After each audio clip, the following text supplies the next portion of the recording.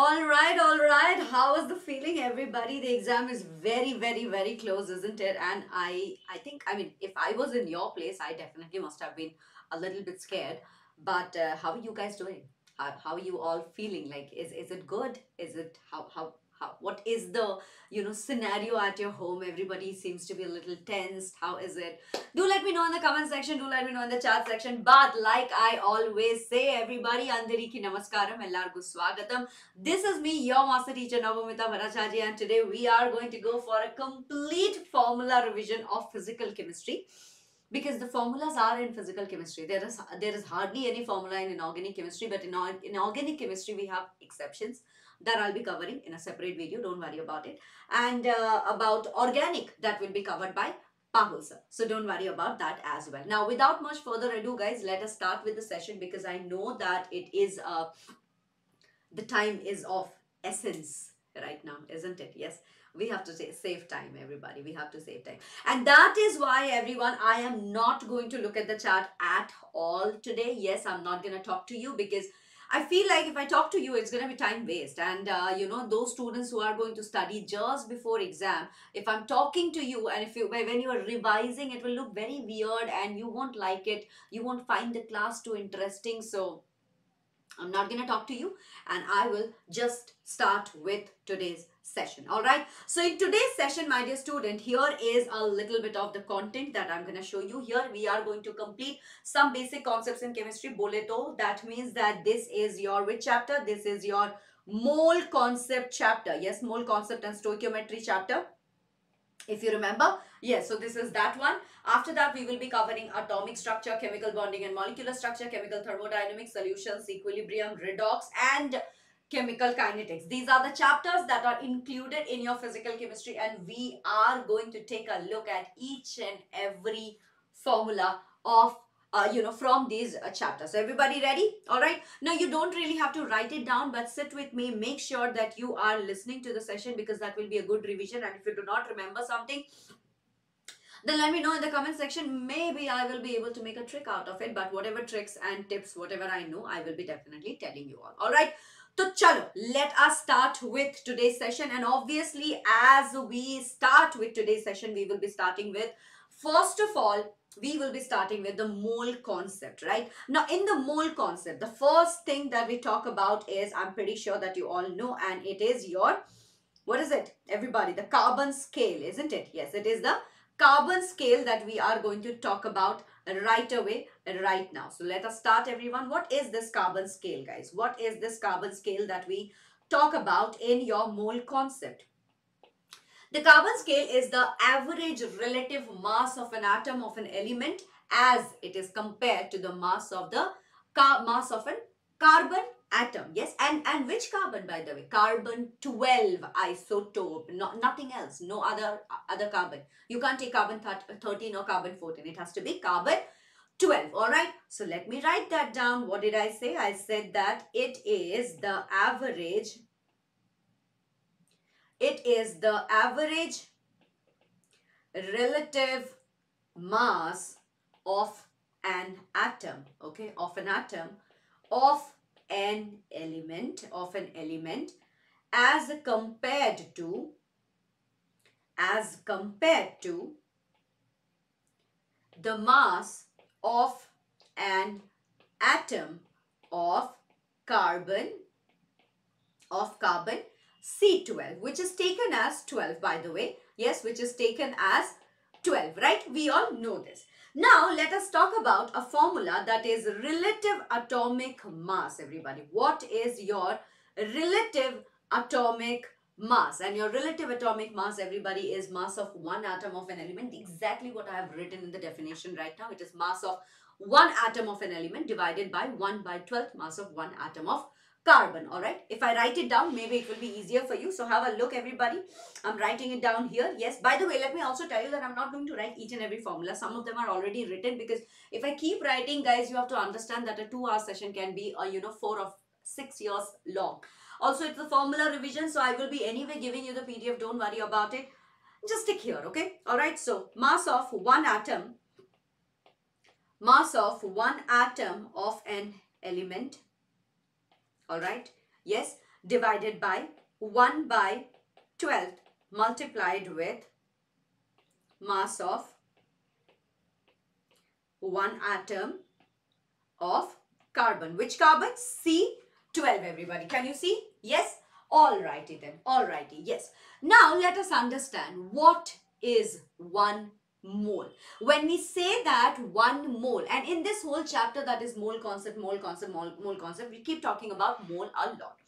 So the question that comes into our mind is what is one mole everybody and whenever we say one mole you have to understand that it represents yes one mole represents or one mole is is uh, you know one mole is represented in the form of atoms molecules and ions okay one mole let me write the uh, write it down this way one mole is represented as one mole is represented as or represented in the form of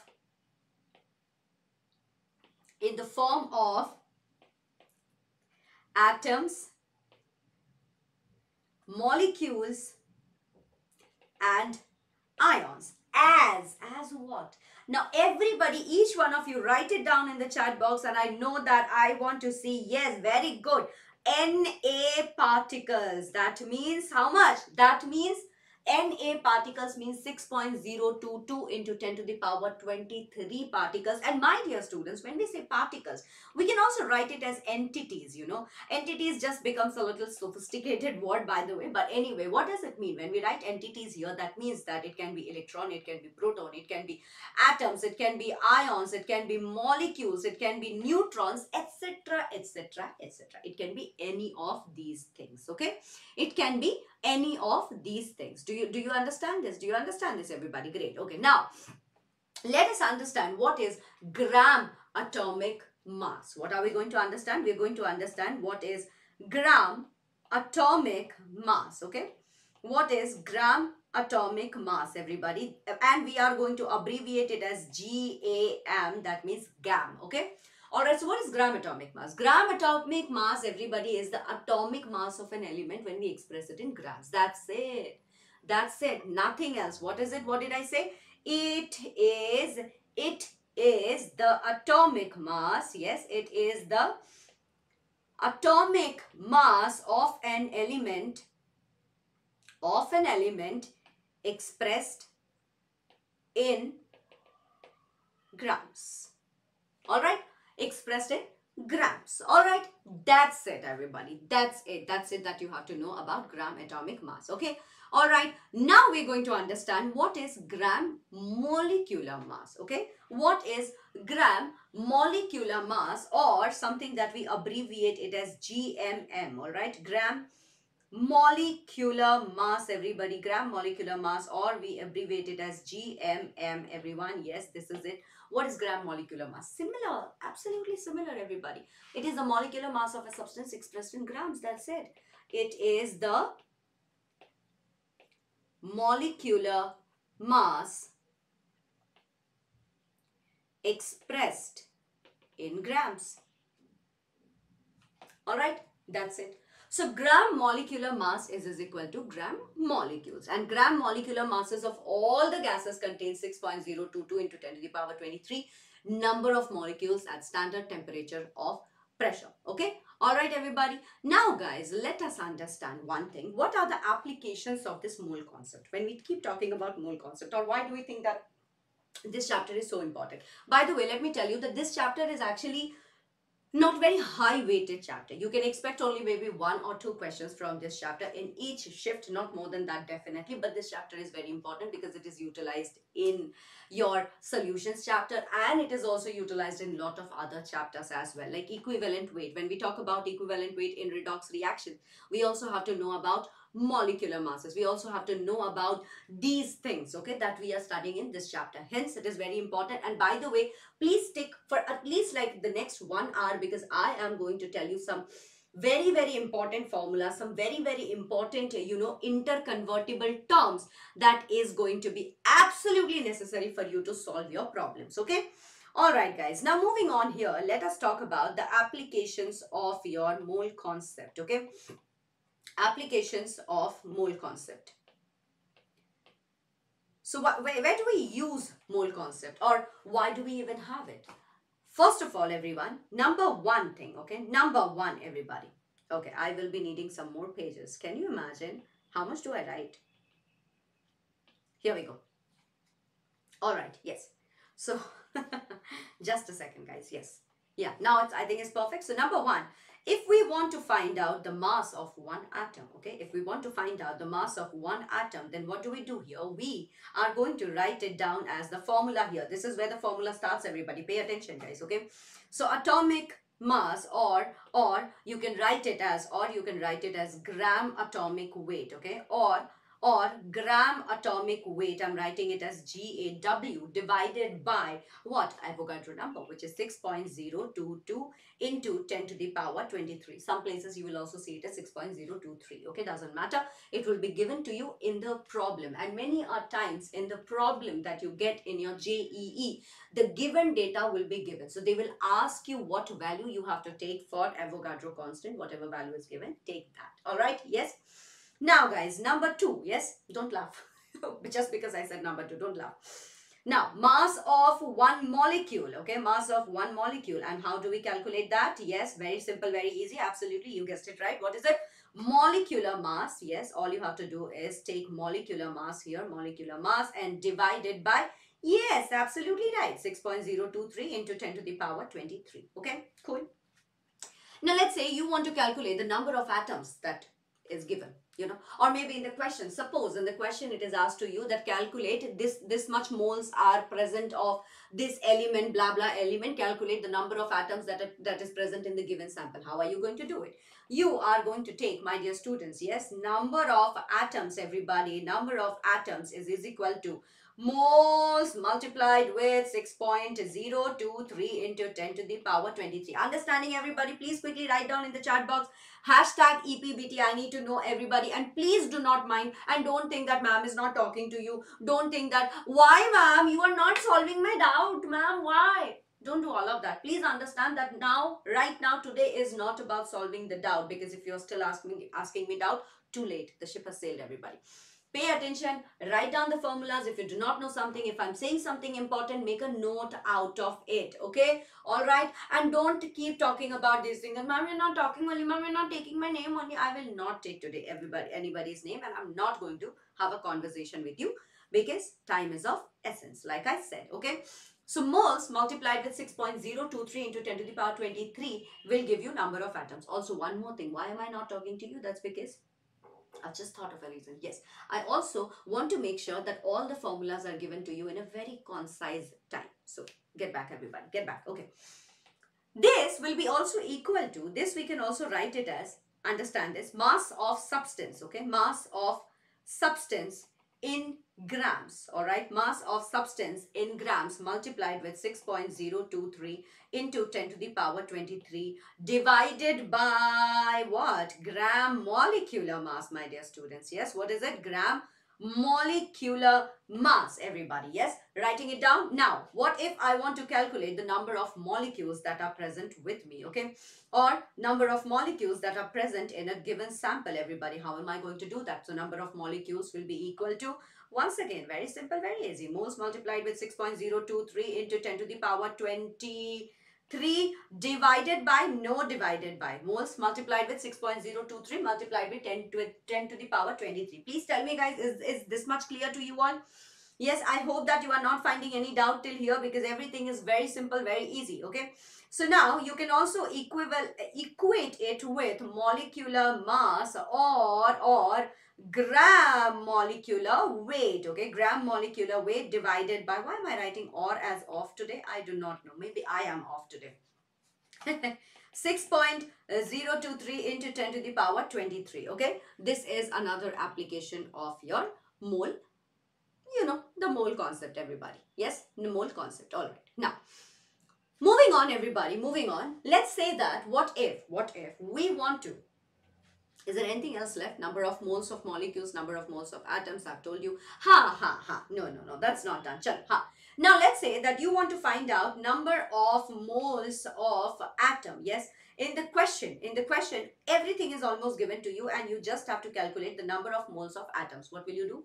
The given mass in the question, in the question, in the problem, you will be given some amount of mass. So write that. And what do you write it as? You will write it as given mass divided by atomic weight okay? Given mass divided by atomic weight. And this given mass will be in what? What will be the unit of it? The unit everybody will be gram. Got, got it? Got it here? All right number six yes. Number of moles of molecules everybody. What is it? Number of moles of molecules. How do you calculate that? Number of moles of molecules is calculated as a weight of the substance. That means once again everybody instead of writing two different terms. I'm writing it as weight of the substance. No i'm writing it as given mass okay? I'm writing it as given mass divided by molecular mass okay? This is very very very very very easy. And this is very useful by the way. This is very useful. In most of the questions you will have to find out what is the number of moles of molecules or what is the number of moles of atoms. So it it, it, it becomes very handy right? Yes now, going moving forward, everybody, let us say that if we are asked to find out, okay, let's say that we are asked to find the mass average. We are asked to find the average mass, okay. So, how do you do that? Yes, how do you do that, everybody? Average mass, you calculate it as, my dear students, it, it's equal to, yes, let, let, let, let's say that there are n moles of some molecule that is present. Okay, let us say that n1 mole of molecules are present and the molecular mass of substance 1 is m1, molecular mass of substance 2 is m2. Not, not substance 2, sorry. The molecule, the N2, there is another sample which has N2 mole of molecules with molecular mass M2. Then you will be calculating average mass as N1, M1 plus N2 capital M2 divided by total moles that is N1 plus N2. Getting it? Is this clear? All clear everybody? Great. Now we come across something that is absolutely very simple and that my dear students is percentage composition of a compound. Yes, look at this. I have already uh, completed more than 10 uh, more than 10 formulas everyone. Yes. Now, let us talk about percentage composition. What is it? Percentage composition. Yes, composition of a compound. What is percentage composition of a compound? Percentage composition. Let us calculate it. or let us write down the formula here everyone. Yes, what do we have? We have percentage composition by mass. That's what we want to calculate, isn't it? Percentage composition by mass. And that, my dear student, is equal to weight of element in one molecule of a compound divided by gram molecular weight of the compound multiplied with 100. That means that, that means that I am writing it down here. Weight, WT means weight, okay? Alright, let me move this side everybody. So weight of the element weight of the element in one molecule of, you know what, let me write it here at the bottom. Sorry, it's, it's taking too much space, that's why, yeah. So, I'm going to write this down here. Weight of the compound, okay, weight of the element, sorry, weight of the element in one molecule, in one molecule of a compound of a compound divided by gram molecular weight of the compound okay? Divided by gram molecular weight of the compound multiplied with 100 why? Because percentage composition right? Percentage is written here right here. So that is why we will have to use it as it is okay now, my dear students, here, let's move a little forward. So, all these things I have already told you. Now, subse important. Hashtag most important everybody is this Y diagram, my bachus. This Y diagram is going to be absolutely it's going to be your absolutely at your fingertips formula. And i know my students like atomic and luxury hitler and all of these students they come every day to my session and they tell me that. In fact atomic had told me that ma'am this y diagram is crazy good and that is why once again i'm telling you everybody. So let us say let us say everybody that you are given number of particles okay you are given that this sample has this this this many number of atoms and you want to calculate mole okay? What do you want to calculate? You want to calculate how many moles of that how many moles of that entities or how many moles of that particle is present. All you have to do is if number of particles is given to you and you want to find out mole then you divide it by avogadro number. All right? Yes. Now if moles are given to you and you have to calculate number of particles all you do is multiply it with avogadro number. Now let's say that mole is given to you and you have to calculate the mass of the sample. Then all you have to do is multiply it with the molar mass. If mass of the sample is given to you and you have to calculate the mole what are you going to do? You are going to divide it by the molar mass okay?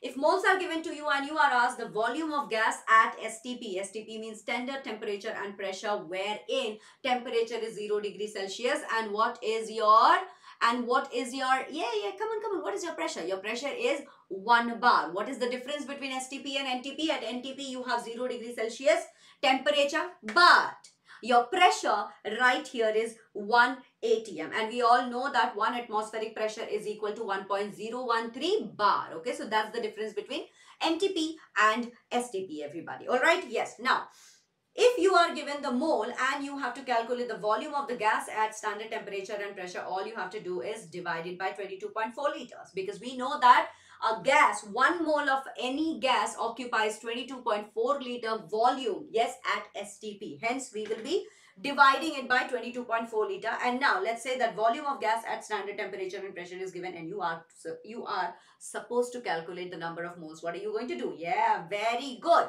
Multiply it with 22.4 liter. That's it. Easy peasy biryani tasty everybody? Yes very good. Chalo. All right now we get into a little bit of stoichiometry okay? We are getting into a little bit of stoichiometry and the first thing that we are going to talk about here is mole mole analysis in any given question. In any given question, this analysis is very, very, very important for quantitative analysis. And let us consider this example, which is 2KClO3 gives you 2KCl plus 3O2 on decomposition. Okay, let's say that 3O2. This is what you get after decomposition. 2KClO3. You have taken 2KClO3 that decomposes. And what does it give you? It gives you 2KCl plus 3O2. Alright, so that means that you can clearly see 2 moles of KClO3 uh, on decomposition is giving you 2 moles of KCl and it is giving you 3 moles of oxygen. By the way, this reaction is balanced right here, okay? And for this method, my dear students, for mole-mole analysis, you will need a balanced chemical equation. Balancing is absolutely mandatory. Do not make a mistake here. Do balance it if the equation is not balanced, alright? So now, what are you going to do? All you have to do is, all you have to do is moles of KClO3 divided by the stoichiometric coefficient. What is the stoichiometric coefficient that I just told you about? This, my dear student, this 2, this coefficient that you see, this 2 here and this 3 here, these are called as your stoichiometric coefficient and you're just going to divide it and equate them. So, for example, moles of KClO3 divided by 2 is equal to moles of KCl divided by 2 and moles of O2 divided by 3. You get the point? Easy peasy? Great. Now for any general balanced equation, let's say that you have a balanced equation which is AA plus BB gives you CC plus DD. What are you going to do? Moles of A reacted divided by small letter A. Small letter A is the stoichiometric coefficient. Next, small letter B is the stoichiometric coefficient. So moles of B reacted divided by small letter b which is the stoichiometric coefficient and this is going to be equal to whatever is on the product side what do you have on the product side you have small letter c and capital letter c that means that what are you going to write here you are going to write here my dear student moles of capital C reacted divided by C. What is C? What is the small letter C? The small letter C is the stoichiometric coefficient. This is equal to moles of capital D reacted divided by small letter D. Getting my point? Yes. Okay. Now, a little more trick here. If you are given mass, if you are given mass and you have to calculate the mole, what are you going to do? You are going to, you are going to here divided by atomic weight or molecular weight as and what I just told you. See, number of particles are given to you. If you have to calculate mole, what are you going to do? Divided by Avogadro number, right? So you are given mass here. See, you are given mass here and you want to calculate the mole. So if mass is given to you and you have to calculate mole, then what are you going to do? Divided by molar mass. So right here, what are we doing? Here you are going to divide it by atomic weight or molecular weight. You will get the mole. Once you get the mole, then you find out the mole-mole relationship of the equation, something like this, okay? Sort of like this. You are doing, you are going to do that. Then you are going to get the molar ratio. Now, if you get the mole, okay, if you get the moles, then after that, what are you going to do? Once you get the mole, you need to calculate either mass or you will be calculating volume at STP. So this is actually the mind map or the or what do you say? This is the flow chart of how you are going to solve a question that is related to mole-mole analysis and if it comes in your exam. Alright, my dear students? Yes, great. Okay, now like I said, you will need here a balanced chemical equation. Now, once you get the balanced chemical equation, you will be able to calculate the volume of the gaseous reactant and you will also be able to see the mass of the reactant. Once you do that, if you get the mass of the reactant, then what are you going to do? Divide it by molar mass, you will get the moles of each reactant. If you get the volume of the gaseous reactant, what are you going to do? Divide it by 22.4 liters. You are going to get the mole of each reactant. After that, you will calculate the mole divided by coefficient for coefficient ratio for each reactant. And if you see that all the ratios are same that means that that equation is stoichiometric. If it is not then you are going to call it as non-stoichiometric. All right? Yes? Now everybody. Now everybody before we get into limiting reagent there are certain other things that we have to learn and those are everybody relative and vapor density very very very important. So let's go we're going to understand now relative and vapor density okay? Relative and vapor density. This is very important especially vapor density. Vapor density is very important. So first of all everybody can somebody tell me what is the definition of density or or what is the formula of density? Come on guys. Come on come on come on come on. I, i'm gonna wait for a minute. Gonna wait for a minute everybody. Let me know. Yes yes. What is it? What is it? What is it? Come on yeah, very good. It is density is equal to mass by volume. If you, if you tell me, if any of you tell me that ma'am, I do not know. Like this one virtual punch is coming to you, okay? And, and like this, holding this pen like this so that, you know, I poke you like this. Like, what are you doing? Study. What are you doing? Study. Anyway, so density is equal to mass by volume. Now, what is relative density? Are relative density is basically what Sharma ji ka beta you have to compare, right? You have to take something in reference, okay? You have to take something in reference. So, what is our relative density? But choose my relative density or our relative density is basically density of any substance, okay? It is density of any substance, yeah, yeah, yeah, divided by density of a reference sub, sub, substance okay? Density of density of reference substance. All right everybody? Yes? Now you're going to ask me so ma'am then what is vapor density? Vapor density choose it is the ratio of the mass of a certain volume of a gas or vapor. And what are you going to do? To the mass, here also this is relative, okay? This is relative, it's a ratio, right? So to the mass of the same volume of hydrogen. So that means that in this case, we are taking hydrogen as reference, all right? What are we doing? We are taking hydrogen as reference. So let me write that down, everybody. Let me write that down. What is vapor density, I asked then, right? Vapor density. Chalo, let me write this here.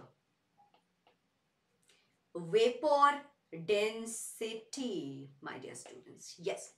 So it is the ratio. It is the ratio of the mass ratio of the mass of a certain volume of a gas of a gas okay or vapor whatever you want to write that's fine okay of a gas to the mass to the mass of the same volume, same volume of hydrogen, volume of hydrogen and under similar conditions, yes, similar conditions are very important. Under similar conditions of temperature and pressure. So that means how can we write the formula for vapor density? What is going to be the formula for vapor density? The formula for vapor density can be written as, my dear students, have a look here. It, is, it can be written as mass of certain volume of vapor, mass of certain volume of a vapor divided by mass of divided by mass of the same volume of hydrogen. Gotcha? So that means that we can write it as VD, vapor density. So th these are different formulas, everybody. The different formula here is, yes, you can also write it as molecular, molecular mass divided by 2 okay? This is a different formula everybody. Please note it down all right yes so that means everybody tell me something. So from here if you want to calculate molecular mass what if they are asking you they are giving you vapor density and they're asking you to find molecular like mass? That that easy question won't come but still we should be prepared for anything and everything isn't it? So yeah molecular mass. So that means that molecular mass is, is equal to 2 multiplied with vapor density. Make a sense of all right, guys, everybody. Okay. Now, once this is done, everyone, now once this is done, now we are going to understand the limiting reagent. What is this limiting reagent, everybody? As you all can clearly see, let's say that we want to make burger because, yeah, this is this chapter is as simple as making a sandwich. Just like somebody told me that, ma'am, Pawel sir says that. So, yeah, I'm also using his dialogue, yeah. Anyway, guys, everybody. So, have a look, guys, have a look. So let's say that you have reactants, you have let's say salamis or ham, anything you want to put in your burger. Then you have buns, okay? You have two pair of buns here, you have two pair of buns here, you have two pair of buns here, you have two pair of buns here. That means you have four pair of buns here. And then you have one, two, three, four, five, six. You have six cheese slices and then you have one, two, three, four, five, six, seven. Seven patties you have. So what do you have? You have three ham, four pairs of buns, you have six sandwiches and you have seven patties, okay? But how much can you make? How many burgers can you make with all of these in pictures? So if you want, if you want to put one patty, one cheese and you know, you take one pair of bun and then you take the ham, you will only be able to make what? Three pair of burgers, isn't it? If you make only three burgers, that means what are the excess reagent? What are the ones, what, which ones are the which ones are the substances that are not at all used here? The ones that are not used completely are the buns, it's the patty, it's the cheese. Yes, these are the ones that are not used. So that means that in, in a reaction as well, what happens is you have one substance which is at more and the other one which is at less. And this less one is the one that can actually dictate how much, what is the extent of the completion of the reactant which is why we come across something that is called as limiting reagent and excess reagent. All right? So what happens in case of limiting reagent and excess reagent and when do you get it? You get it in a non-stoichiometric reaction my people. Yes. When, when do you get it you get it in a non-stoichiometric reaction. Obviously, if both the stoichio if, if the stoichiometry is followed, if the reaction is stoichiometric, then that means that both of them are equivalent, equivalent, right? Then how will one one substance be more and one substance will be less? It won't happen, right? Exactly. So for you to be able to uh, get a limiting reagent and an excess reagent, you will need non-stoichiometric reaction. Then some reactants are left after the reaction which are called as excess reagent. Some reactants which has the lowest value of mole divided by coefficient ratio that will become your limiting reagent.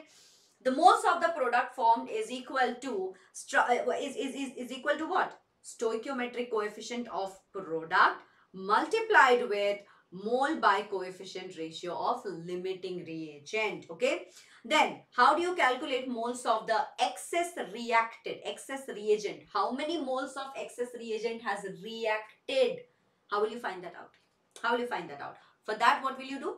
Stoichiometric coefficient of excess reagent multiplied with mole divided by coefficient ratio of limiting reagent. Do you get it everybody? Have a look at this. Yes, this is what is your formula. These are all formulas by the way. Yes. So limiting reagent is the one that gets completely consumed in the reaction and that is the one that decides the amount of product formed. It will be decided by limiting reagent and not excess reagent, my dear student. Pay attention here. Now, let us have a look at, let us have a look at excess reactant for once. So you have non-stoichiometric reaction, then, then what will you do? You will find that some reactants are left after the reaction, which is your excess reagent. Reactant, which is the lowest value of mole divided by coefficient ratio is limited. I think we have just done this. Uh, this, this slide got uh, repeated. Okay, this uh, slide got repeated. No worries. I'm just going to delete it right away. Yeah, deleted it. Everybody. Chalo. Now, guys, now we get into, so that's it. That's it from your mole concept and stoichiometry, everybody. And now, my dear students, we get into the concentration of solution. But before we start with concentration of solution, we do have something else.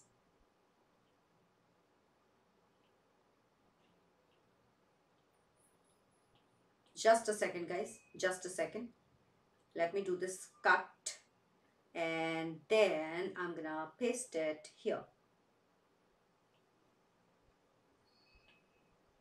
All right.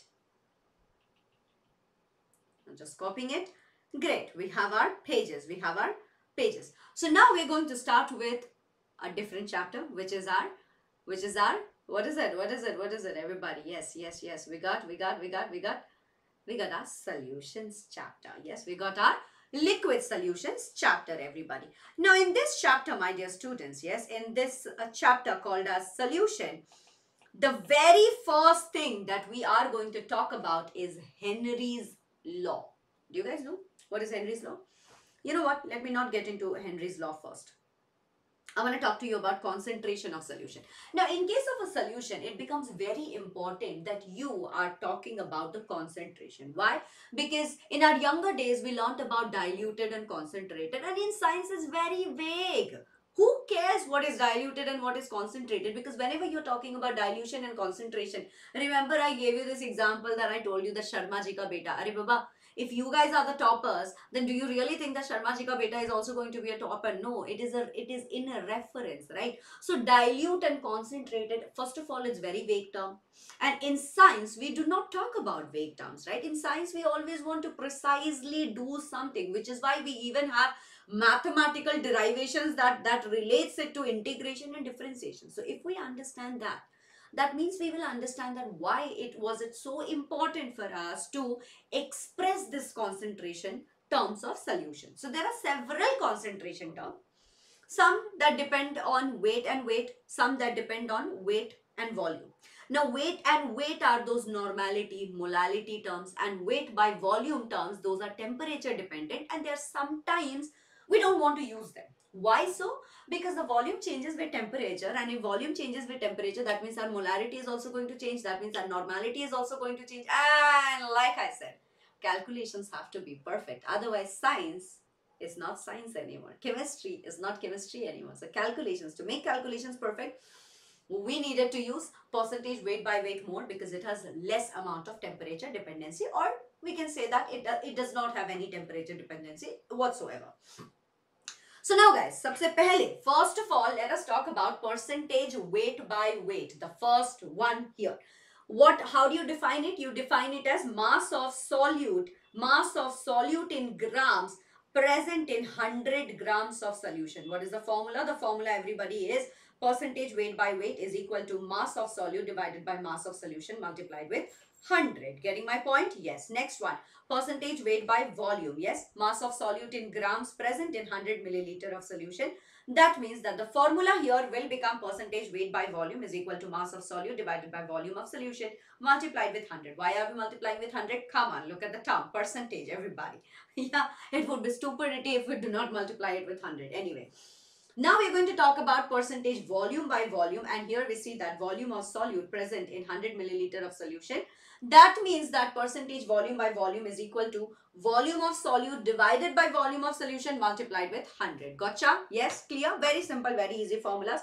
Don't even have to look at it so much because these are the most easy formulas. These are like, you know, 9th or 10th standard formulas, isn't it? Yes. Okay, moving on guys. Now, let us have a look at mole fraction. So, what is mole fraction? Mole fraction is basically your ratio of number of moles of a particular component to the total number of moles of the solution. That means that chi of A, chi of A, this represents chi. Chi is the mole fraction. You represent mole fraction with this, uh, you know, Greek letter called as chi. Now, what is A? So, in a solution, we usually have two components. One, one part is solute and the other part is just solute, uh, other part is just solvent. Generally, solvent is in larger amount, solute is in smaller amount, right? So in this case, when we are writing a component, that means we are either talking about the solvent component or we are talking about the solution or, or we are talking about the solute component.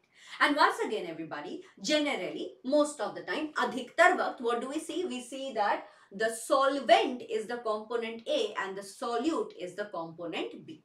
So in this case, maybe we are talking about solvent. However, since it is in general, doesn't matter, no conclusions, just know this, okay?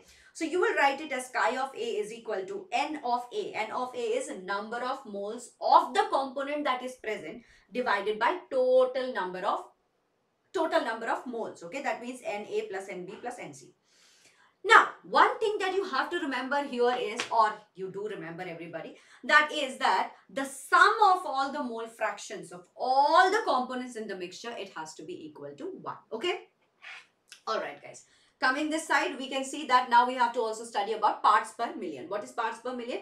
This is the number of parts of solute that is present in every 1 million parts of the solution. So parts per million is equal to number of parts of the component divided by total number of parts of all components of the solution multiplied with 10 to the power 6. Why 10 to the power 6? This is very, very uh, equal to, uh, you know, this is absolutely as same as your percentage weight by weight. All you have to do is, you know, instead of 100, you write it as 10 to the power 6. That's it. Now, in case of percentage, what happens? The concentration in parts per million can also be expressed as mass to mass, volume to volume or mass to volume. Getting it? Getting it everybody? Easy peasy? Nothing too hard yet. Nothing too hard, isn't it? Now guys, we come across something that is molarity and molality. And these are the two terms that we are going to talk about a lot. or we talk about it a lot and in every examination paper we get to see these terms, right? Anyway. So what is molarity everybody? Molarity is number of moles of solute that is present in 1 liter of solution. So molarity capital M is equal to moles of solute divided by volume of solution liter. Molarity, like I told you already, it is temperature dependent quantity. Now when we come across molality, we see that molality is denoted with small letter m everybody. And it is moles of solute divided by mass of solvent in kg. So molality is a temperature independent quantity. Okay. All right, and here is all the conver all the conversion of concentration terms that I am also going to write it down for you. So don't worry about it. I will be writing it down. Absolutely not to worry. You have nothing to worry. All right. Yes. Now, my dear students, let us come across Henry's law. Okay. Let us come across Henry's law. What did our dearest Henry Bhaiya or Henry Anna say?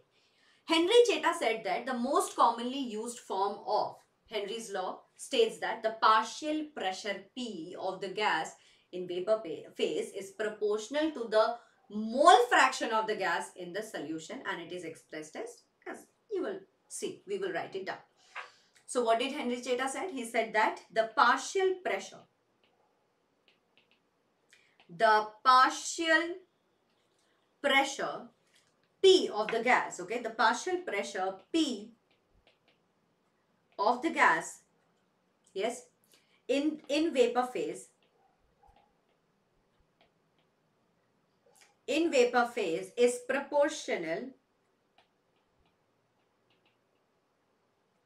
is proportional to the mole fraction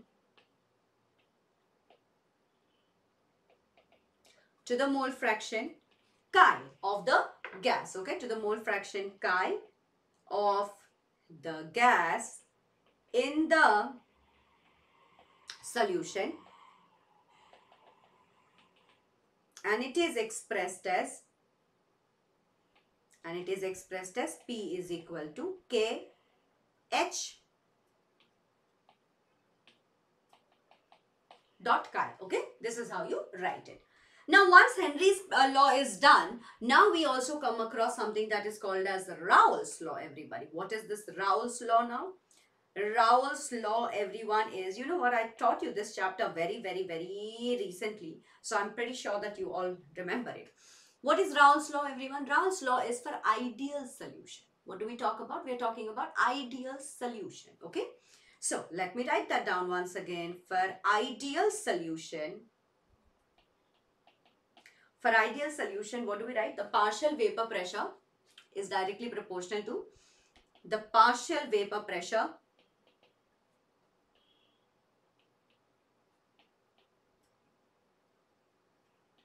the partial vapor pressure is directly proportional to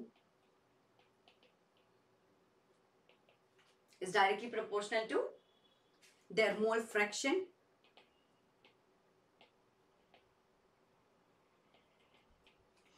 to their mole fraction at what was the definition guys? I keep forgetting this. It's very weird to learn definitions at this age. At constant temperature for two components a and b in uh, liquid solution. I, I think that's what it is. Please please can you just correlate and uh, tell me temperature for now now okay that's it. For two components okay? For two components a and B in liquid solution, A and B in liquid solution. What do we know? How do we write it as? How do we write it as? Anybody? I'm pretty sure that you all know it is PA is proportional to chi A. Now to remove this proportionally constant, what will we do? We will write it as PA is equal to PA naught chi A, isn't it? Yes. And similarly, we will write it for PB is directly proportional to chi B. That means PB is equal to PB naught chi B, isn't it? Now, my dear students, you tell me what is going to be the total pressure. The total pressure that means PT. Yes, total pressure PT is equal to PA plus PB, right? That means that we can also write it as PA naught chi A plus PA naught, sorry, PB naught and i'm not going to do the rest of the derivation which i think you should know right? And you all know that chi a and chi b are the mole fraction in liquid phase and p naught is the partial pressure of pure compounds right? Yes that's it. Okay. Now after Raoult's law we do come across something that is called as ideal and non-ideal but we will read about that in some time. Let us talk about Dalton's law first okay? Let us quickly go through all the laws here. Now we come across Dalton's law everybody. What is dalton's law?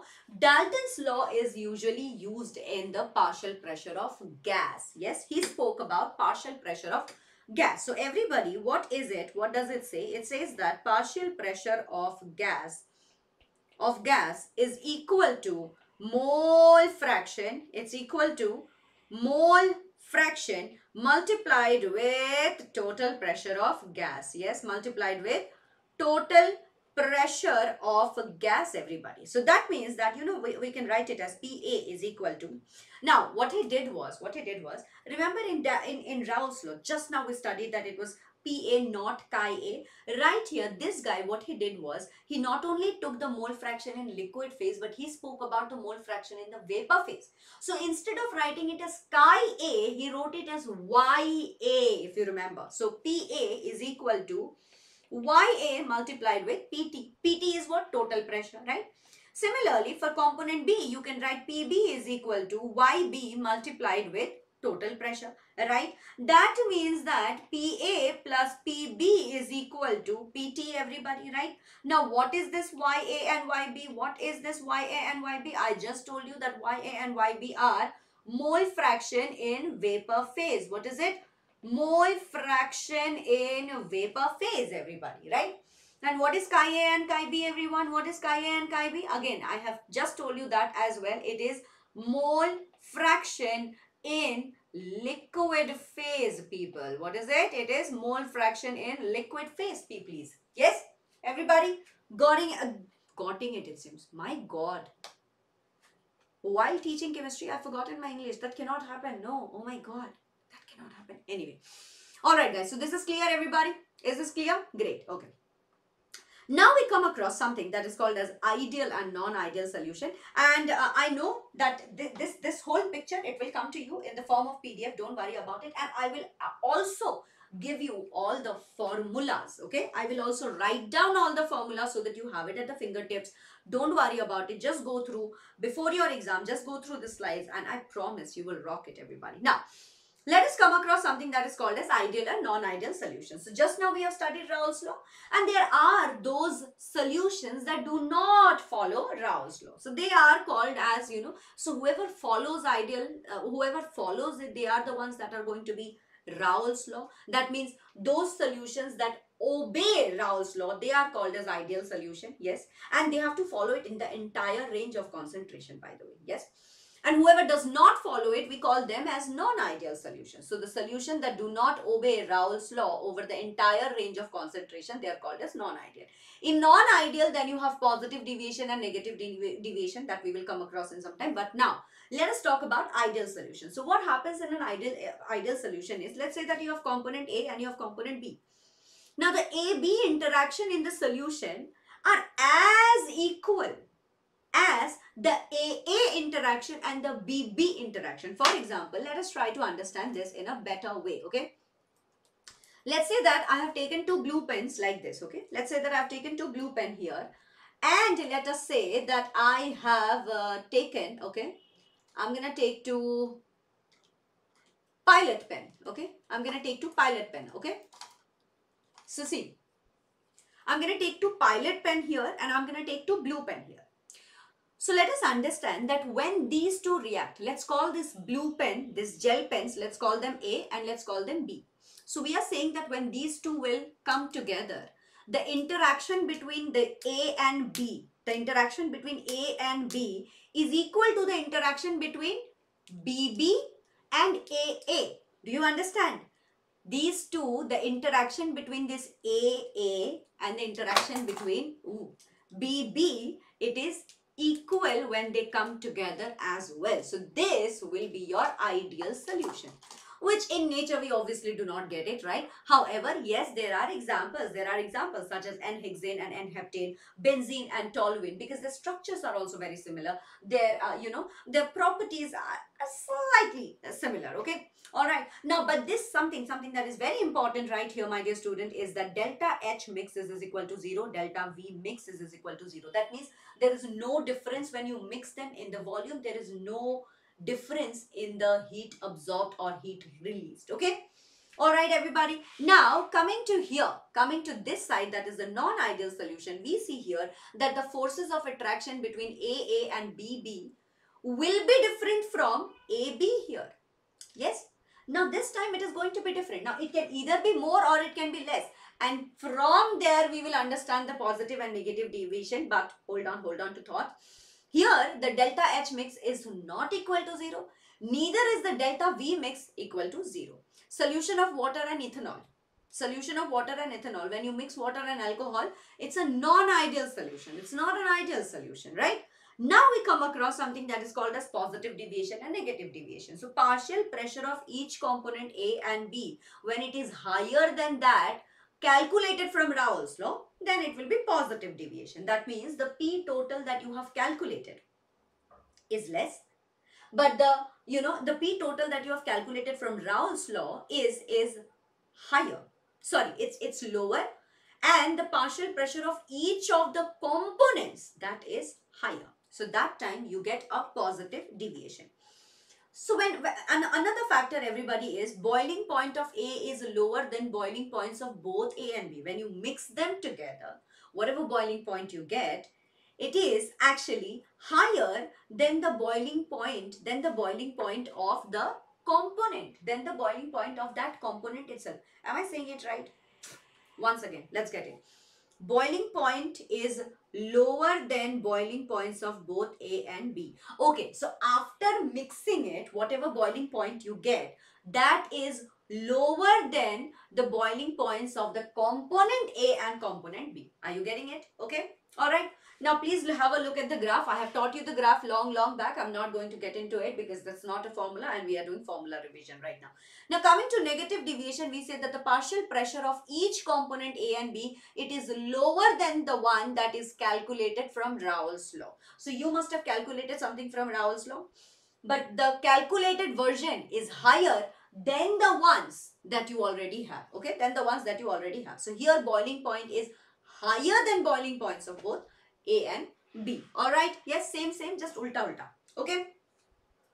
Now guys, what, what else do we see? Th these are the factors that are very important. So for positive deviation, delta H mix is greater than 0, delta V mix is greater than 0, delta S mix is greater than 0 and delta G mix is lesser than 0. Please remember these. Please remember this. Okay. Yes. What are the examples? Chloroform, uh, chloroform and water. Ethanol and CCl4. Methanol and chloroform. Benzene and ethanol. These examples are there in your NCERT. Have a look at it. Okay. Now let us come across negative deviation. Here what do we have? Delta H mix is lesser than 0. Delta V mix is lesser than 0. Delta S mix is greater than 0. Delta G mix is lesser than 0. So that means these two are similar similar for both positive and negative deviation. However, examples are chloroform and methyl acetate, H2O and hydrochloric acid, water and nitric acid, acetic acid and pyridine, phenol and aniline. Alright, yes.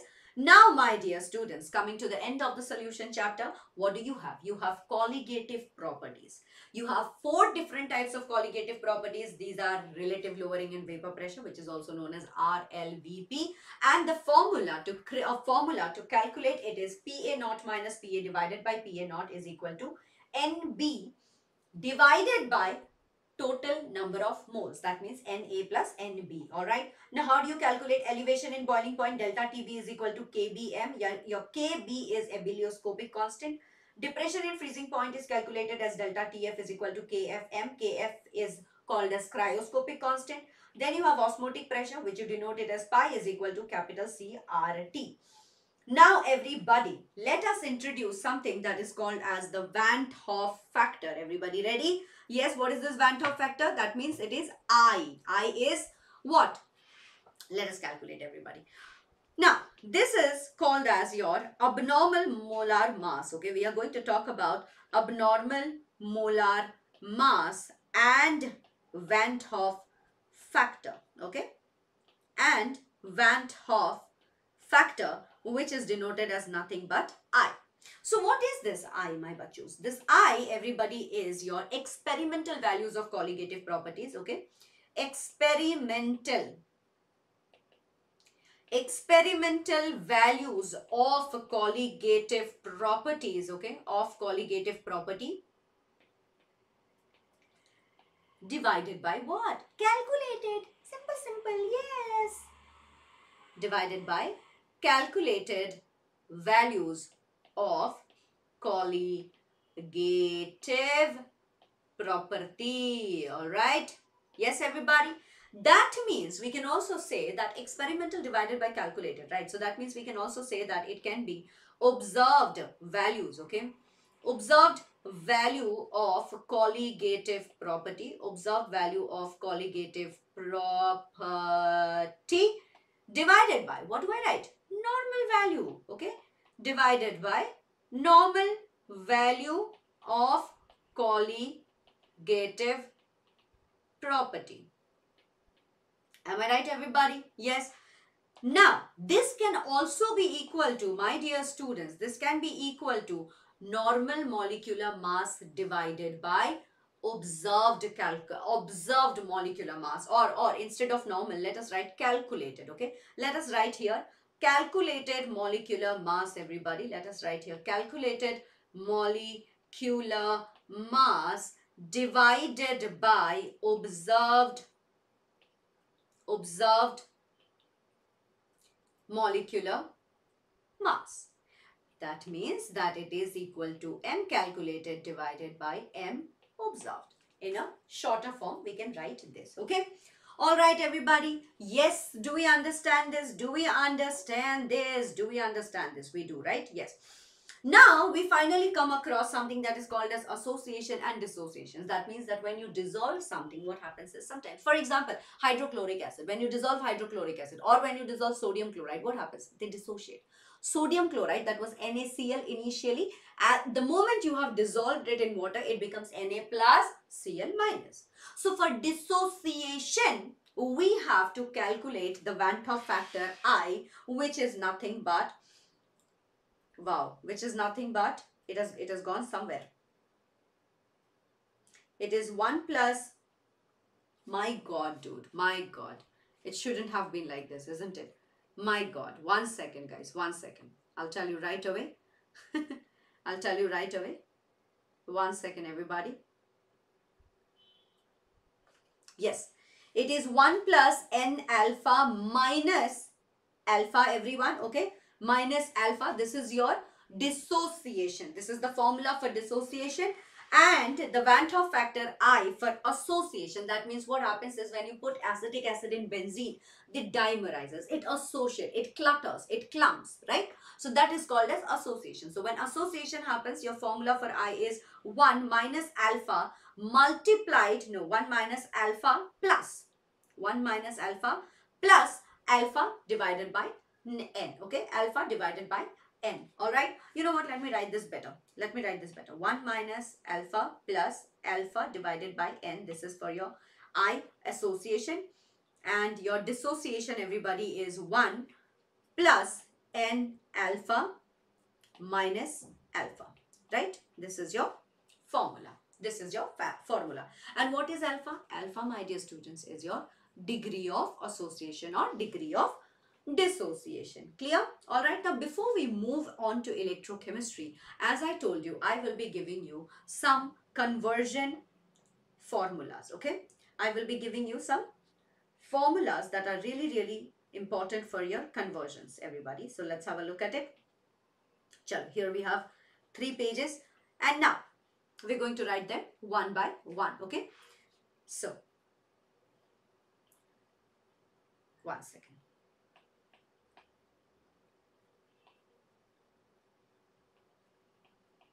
All right.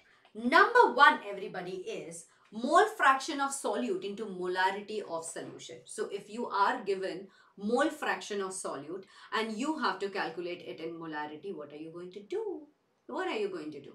I'm going to help you. Don't worry about it. You don't have to do anything. You just have to sit here and listen and we will solve it, everybody. So mole fraction, mole fraction of solute, yes, into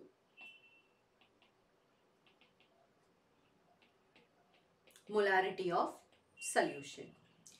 The formula everybody is going to be, have a look here.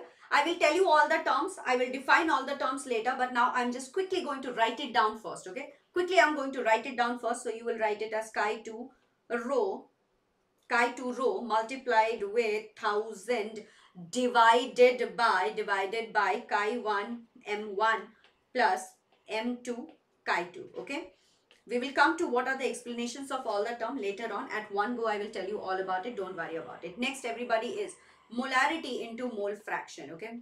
Next is molarity into mole fraction my dear students.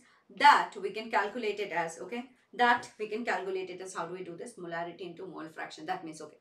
All right yes. It was chi 2 is equal to m m1 multiplied with 1000 divided by rho multiplied with 1000 minus mm2 okay? Make sense everyone? Nonsense. Don't don't worry. Even if it does not make sense don't worry. I will tell you all all the this thing all the important terms. Just listen to it and make a note of it right now. Now mole fraction mole fraction into molality. Okay? Mole fraction into into molality everyone is let's say small m right small m small letter m is equal to chi2 multiplied with 1000 divided by chi1 multiplied with m1 all right now next everybody is the fourth one everyone is molality into mole fraction. Molality into mole fraction everyone. Molality into mole fraction, how do you write it? You will write it as chi2 is equal to small letter m multiplied with m1 divided by 1000 plus molality 1 okay? Divided by 1000 plus molality 1 now next what what is it going to be? Molality into molarity. Let us do that. Yes let us do that. Molality into molarity. What did i say? Molality right? Huh.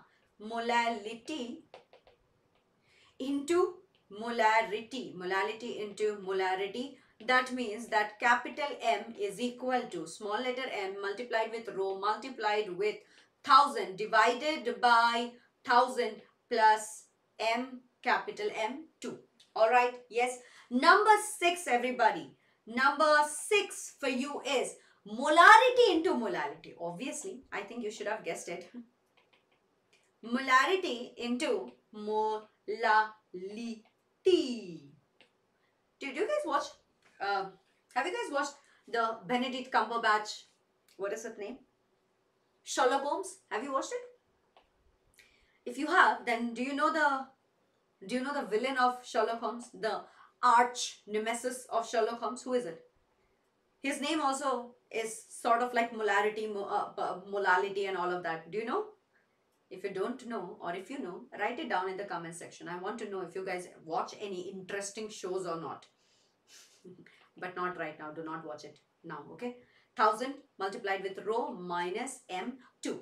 Now, all the questions that you are probably asking that, ma'am, what is m1, ma'am? What is m2, ma'am? Ma'am, what is rho, ma'am?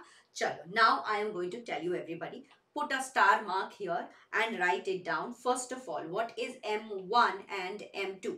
Your capital M1 and M2, obviously, my dear students, are molar masses. Okay, they are molar masses of solvent and solute. Of solvent and solute. Solute seems like solulu. No, delulu. Anyway, rho here is density. All right. Yes. Density of what? Density of solution. But choose density of solution. Yes. All right. Next is your capital M. Your capital M obviously is molarity. Was there a, a what were you thinking? You were thinking something else? No. Okay. Small letter m is equal to molality. Yep. And what is chi1? Chi1 is mole fraction. Chi1 is mole fraction of, let's say, solvent. And what is Chi2? Chi2 is mole fraction of solute. Solulu. Yes. And done. That's it.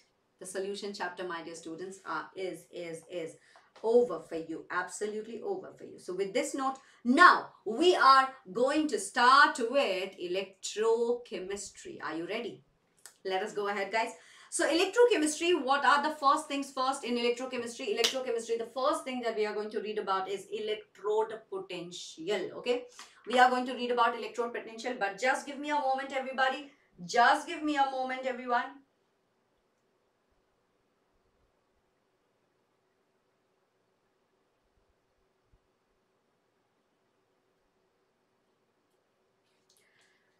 I'm gonna drink a little bit of water and then I'm gonna start.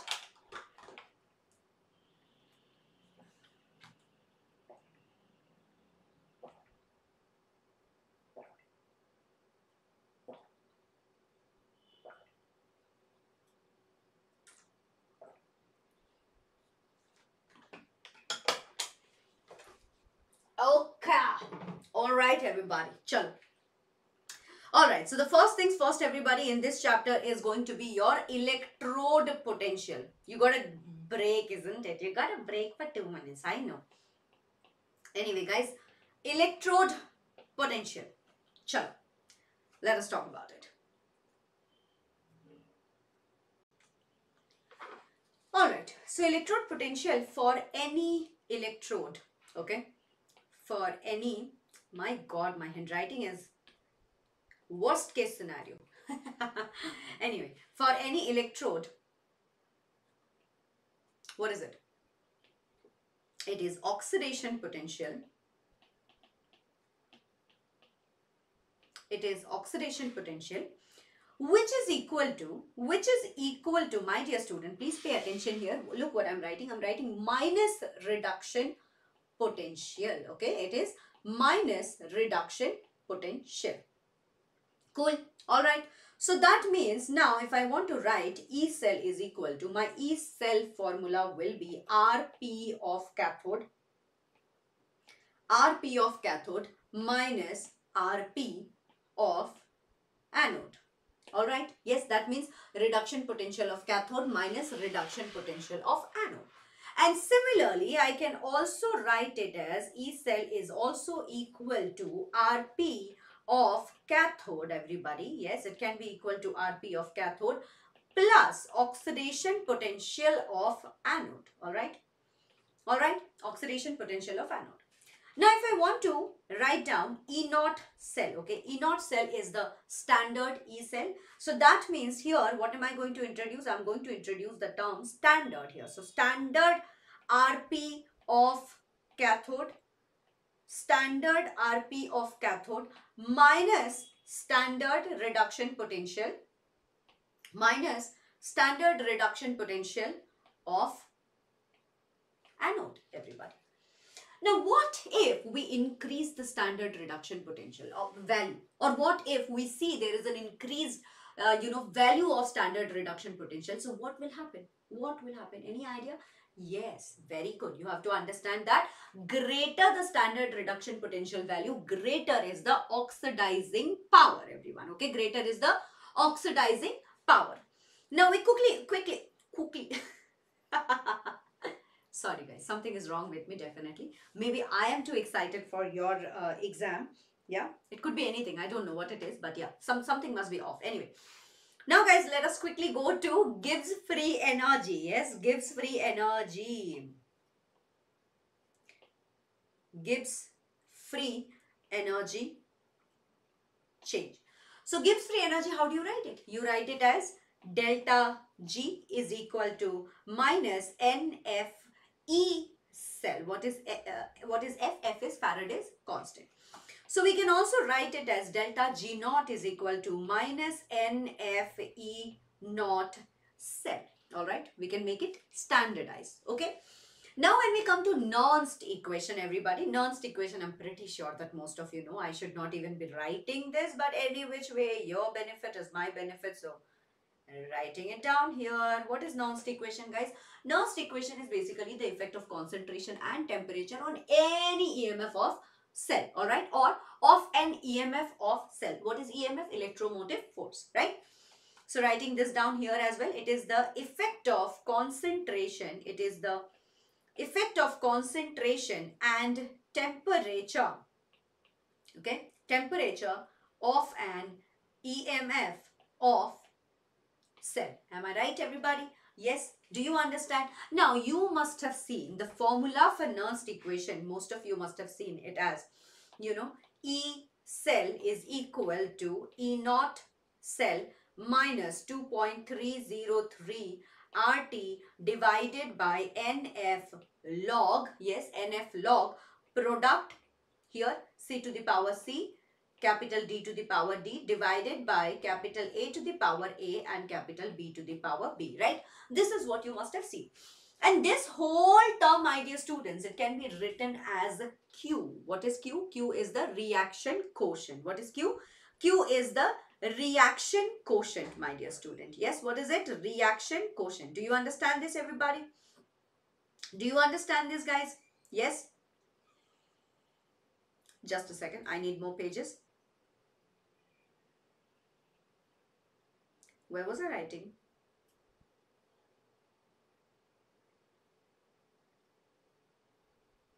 This is where, right? Just a second, guys. Okay. All right. Yes. Hmm. All right. So now let me just derive it a little bit for you so that you have it at your fingertips once again. Yeah. So we can write it as delta G is equal to delta G naught, yes, plus RT ln of Q. What is Q? As I just told you, it is reaction quotient. Okay. Q is basically this whole term. This can be written as Q. Okay. All right, everybody. Moving on from here. Now see, I have not used the term 2.303, which I'm pretty sure that you all know that when you convert natural log to log, only then you have to use the 2.303 RT term. Okay. Yes, everybody. Now, guys, moving on here, I can write it as E cell is equal to E naught cell minus RT divided by NF ln of Q, right? Yes which I can write it as E cell is equal to E naught cell minus 2.303 RT divided by NF. Yes, log Q. Can I not write it? I can write it like this. And sometimes you must have seen that all of these terms, since they are all since they are all constant, right? 2.303 R, T and F, these are all constant. So if you calculate the value for all of these, then what do you get? You get it as E cell is equal to E naught cell minus 0 0.0591 divided by N multiplied with log of Q. Do you get it everyone? Yes. Now by chance, if you have to calculate it at equilibrium, at chemical equilibrium, then what will happen? If you have to calculate it at chemical equilibrium, my dear students, yes, at chemical equilibrium, you all know that delta G is equal to 0, which means that E cell is equal to 0. So we can write it as log of KEQ is equal to N E naught cell, yes, N E naught cell divided by 0 0.059, 0591, okay. That means from this particular equation, I can find out that E naught cell is going to be equal to 0 0.0591 divided by N multiplied with log of KEQ. What is KEQ? Equilibrium constant. That's it. Yes, equilibrium constant everybody. That's it. So this is your, this was my dear students, your Nernst equation, which I'm pretty sure that you all know. Correct everybody? Yes, great. Now, let us talk about the calculation of different thermodynamics, uh, different thermodynamics function of cell reaction. Okay. All right. But before that, let me just quickly check. Are those written here? Are those written here? No, we have specific conductance and all of that. Chalo, okay. All right. Yes. Let us have a look at, my dear student. Okay, again, this is very, very, very important. Yes, this is very, very, very important. And you may get a question from here. So please pay attention. Okay. Yes. What are we doing? We are doing calculation of, calculation of different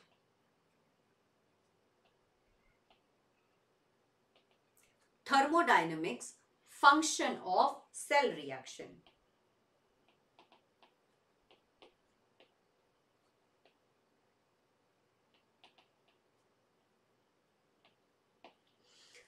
Okay, so first of all, as we know that delta G is equal to minus NFE cell, right? Yes, everybody, we all know this. So let me write that down here. Let me write that down. I will write it as delta G is equal to minus NFE cell, okay? Now from here, S is, is equal to minus D capital G divided by dt at constant pressure at constant pressure if I'm calculating, then what will I get? I will get delta S is equal to minus d delta G divided by dt here and here I will write again constant pressure. Yes, at constant pressure we are calculating. That means that I can write it as NF d by dt here. Yes, E cell, E cell once again at constant pressure. Right? Right everybody? Because what is delta G? Delta G is what? Minus NF E cell. Now N and F are both constant. So E cell, right? That's that's the whole point of differentiation, isn't it? Differentiation as well as integration. Constants cannot be differentiated or integrated. You know that. So N and F both are, you know, constant. So we are going to take that all out and only E cell at constant pressure. That is what we are going to do. Okay. Now, let's say that we want to calculate it for delta H. Okay, so for delta H, we are going to calculate it as everybody. Yes, it will be NF nft dou e divided by dou t yes at constant pressure minus e. Sorry the bracket is wrong. Minus e okay. Now what is going to be delta cp what is going to be delta cp of cell reaction? What is going to be delta cp of cell reaction? You can give it as cp is equal to dh divided by dt that means that delta cp is equal to d divided by dt ddt of delta h of course right so that means that delta cp can be written as nft d square e cell divided by dt square can I not write it like this? Yes, I can. And now, my dear students, we come across something that is, everybody knows, Faraday's law of electrolysis. Yes, we come across Faraday's law. What is your Faraday's law, everyone? Your Faraday's first law is, first law of Faraday, everyone, is W is equal to Q multiplied with Z, which I can also write it as Z, Z multiplied with I multiplied with T, where Z is what? Z is your electrochemical equivalent of a substance. What is it? Electrochemical equivalent of a substance. Now, the amount of substance. So, let's say that you, if you have a cell here, right? Or let's say that you have taken a copper rod. What will happen? what will happen the and you have let's say that you have copper solution so the copper is in cu2 plus state and from there it will try to take in some electrons and it will get deposited on the road so the amount of substance that is deposited or liberated at any electrode, it is directly proportional to the amount of current that is passing through or the amount of charge that is passing through the solution, everybody. Okay. Alright, so from here we can also write it as W is equal to EQ. What is EQ and what is Q? Q is your Q whatever I have told you already, right? So you can write it as W is equal to capital E multiplied with I multiplied with T. Can we not write that? Yes, we can. Divided by if we do 96,500 which is your Faraday's constant, you can calculate it with this also. And what is E my dear student? Your E is equivalent weight everybody and how do you calculate equivalent weight you calculate it as molecular weight divided by n factor okay? And this you learn it in the redox reactions chapter. Okay guys everybody? Now moving on what is the second law of thermodynamics? Okay what is the second law of thermodynamics? Once again i need to copy something here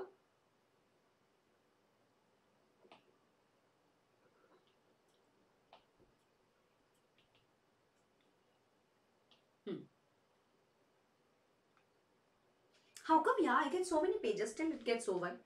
Anyway, now we're going to talk about the second law, everybody.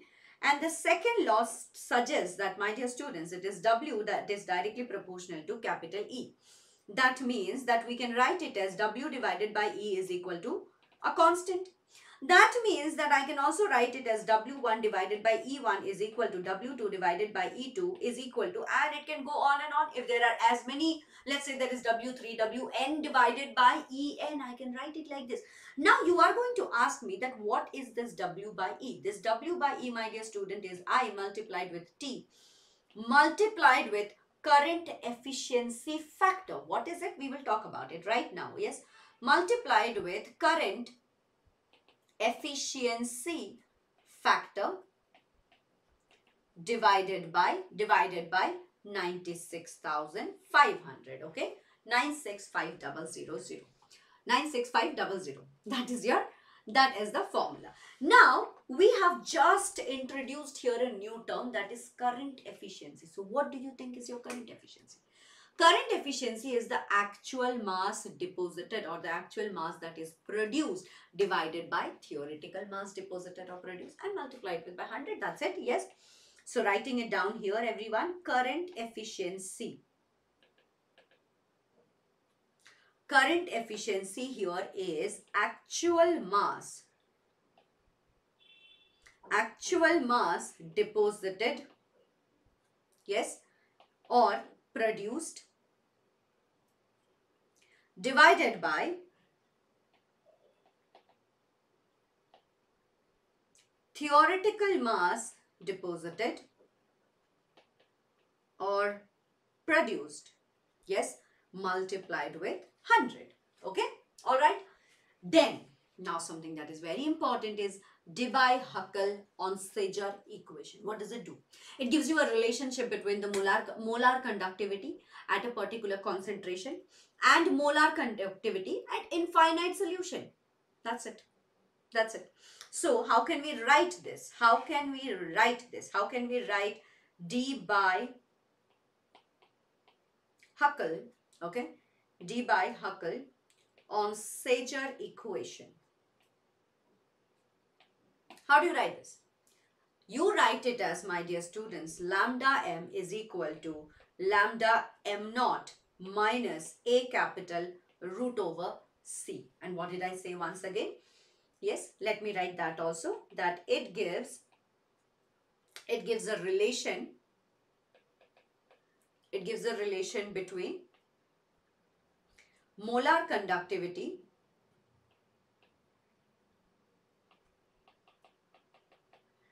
between molar conductivity which is lambda m at a particular concentration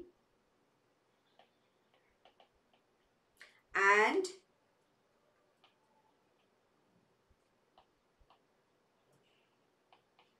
molar conductivity that is lambda m at infinite dilution. All right at infinite dilution okay? Now what is a? A is a constant. And what does it depend on? It, it depends upon the nature of the solvent the temperature and the type of electrolyte that you are going to use okay? So that is the meaning of capital a. All right here capital a means that. Now, my dear students, something that we definitely read is Kohlrausch's law, okay? Please do go through the, uh, you know, please do go, go through the graphs that are present for Kohlrausch's law because it's very, very, very important. So what is Kohlrausch's law? What does it say? It says that at infinite dilution, the molar conductivity of an electrolyte is, what is it? When you add the ionic conductivities of the cations and anions, that is what it is going to be. That means that if NaCl gives you Na plus and Cl minus and if you calculate the ionic conductivities then it is going to be the then it is going to be the molar conductivity of NaCl. Yeah, getting it? Alright. So that means that Kohlrausch's law, what does it say? At infinite dilution,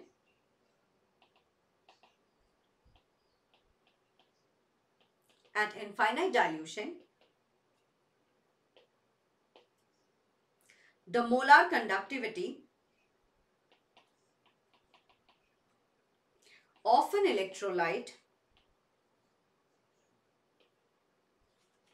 of an electrolyte is the sum of the I have forgotten is the sum of the ionic conductivities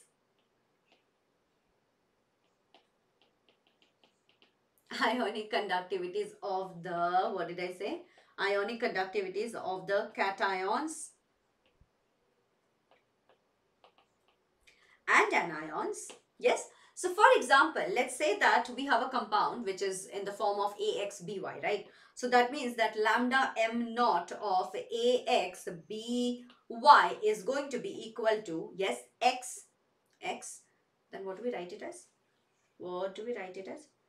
Mm, yeah, you write it as lambda a naught plus y lambda a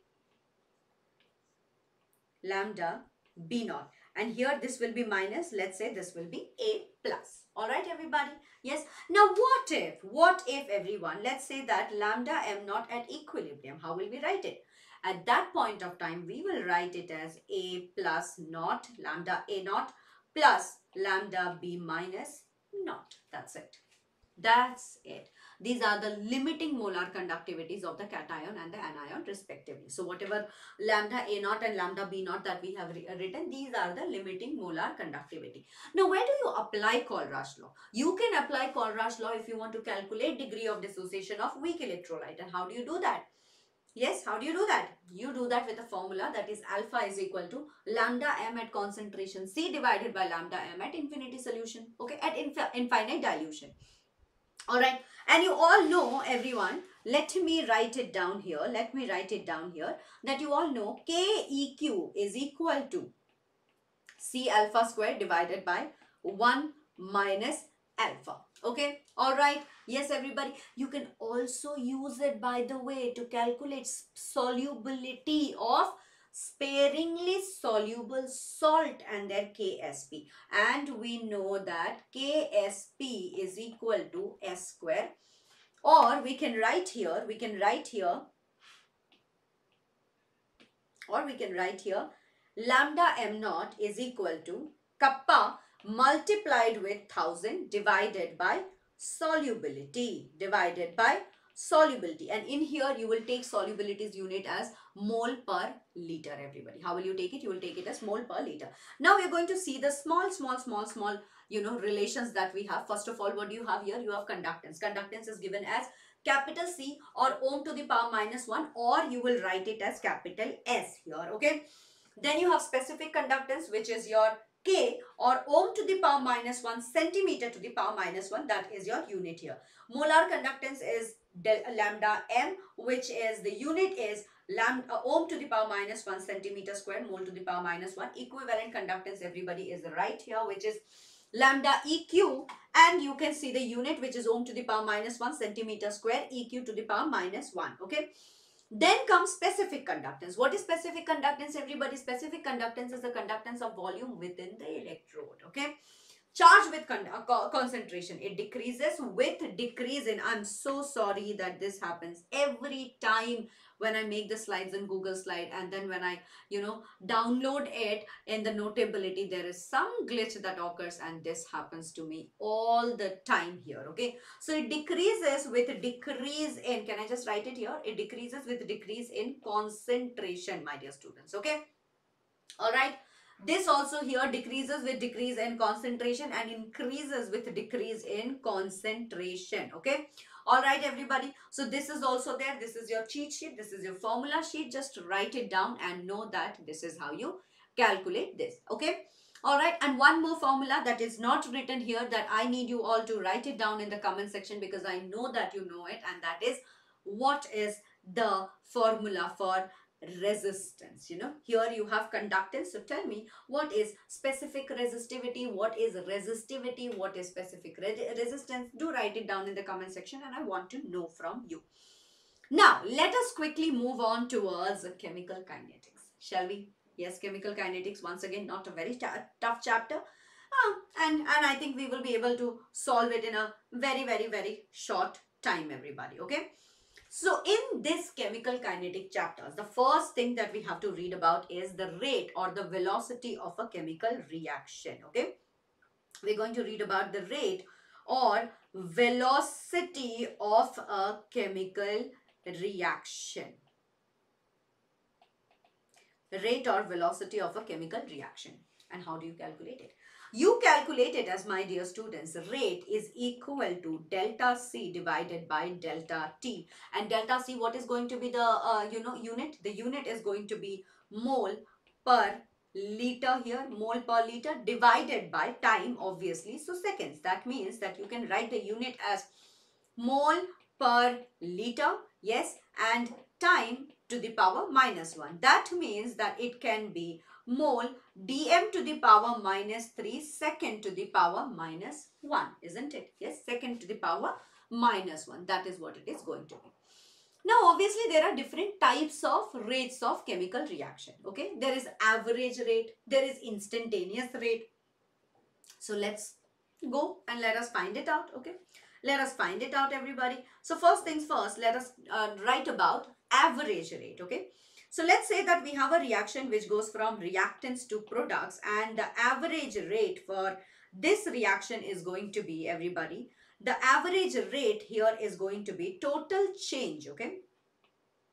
It's going to be total change in concentration. Total change in concentration divided by total time taken, okay? Divided by total time taken. Now, what is the instantaneous rate? Okay, rate instantaneous, instantaneous.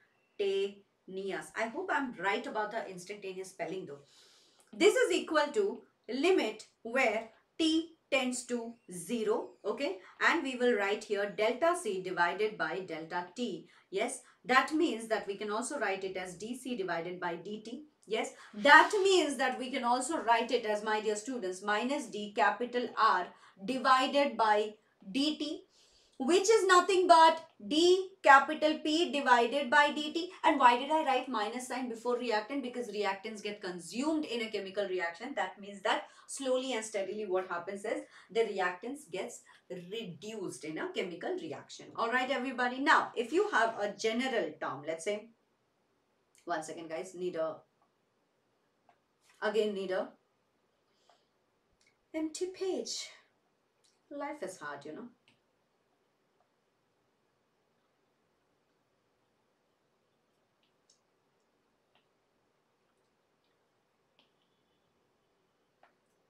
Just a second, people, just a second.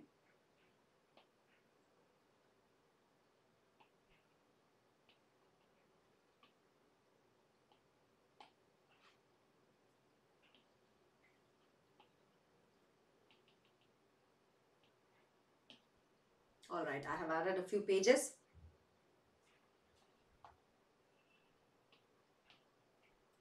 Okay. All right. Now, for a general reaction, okay, let's say that for, for A capital A plus B capital B gives you C capital C plus D capital D, okay. If you have a reaction like this, then what is going to happen? Then you are going to take the rate of reaction okay? You are going to take the rate of reaction is equal to minus 1 divided by a and you are going to take d capital A divided by dt yes is equal to minus 1 by small letter b that means d capital B divided by dt which is equal to 1 divided by c. D capital C divided by dt is equal to 1 divided by d. D capital D divided by dt. Once again everybody as you see on the product side we have kept, kept it as positive whereas on the reactant side we have kept it as negative right. Now we come across something that is called as the rate law everyone. Yes what do we come across? We come across something that is called as the rate law. What is this rate law everybody? What is this rate law? For a chemical reaction yes for a chemical reaction let's say that AA and BB they form a product so the rate is going to be, you know what, let's write it. Let's write it. Instead of me telling you this, I think if I write it, then it will be easier for you to understand. So, for a chemical reaction,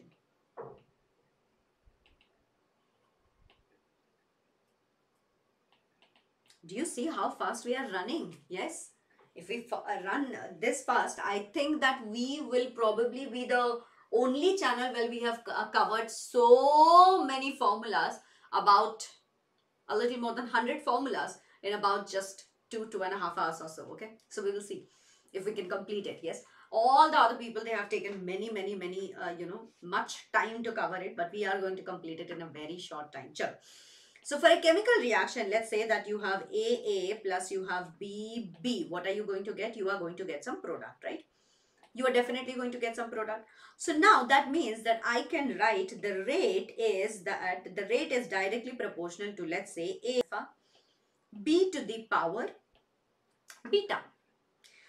Now if I want to remove this proportionality sign then what do I have to do? I will have to use here k and then I will write it as a to the power alpha and capital B to the power beta. Here A and B are what? The A and the B, they are the molar concentrations. Okay. So A and B are molar concentrations. But choose, yes, these are molar concentrations. Understanding everybody? Yes. Can I get some hashtag EPBT if you are understanding? Please let me know. Are you guys writing it down or not? What are you guys saying? Okay. Alright. I really hope you are understanding. Please write down EPBT, EPBT, EPBT. I'm saying EPBT so many times. I think I'm a little hungry.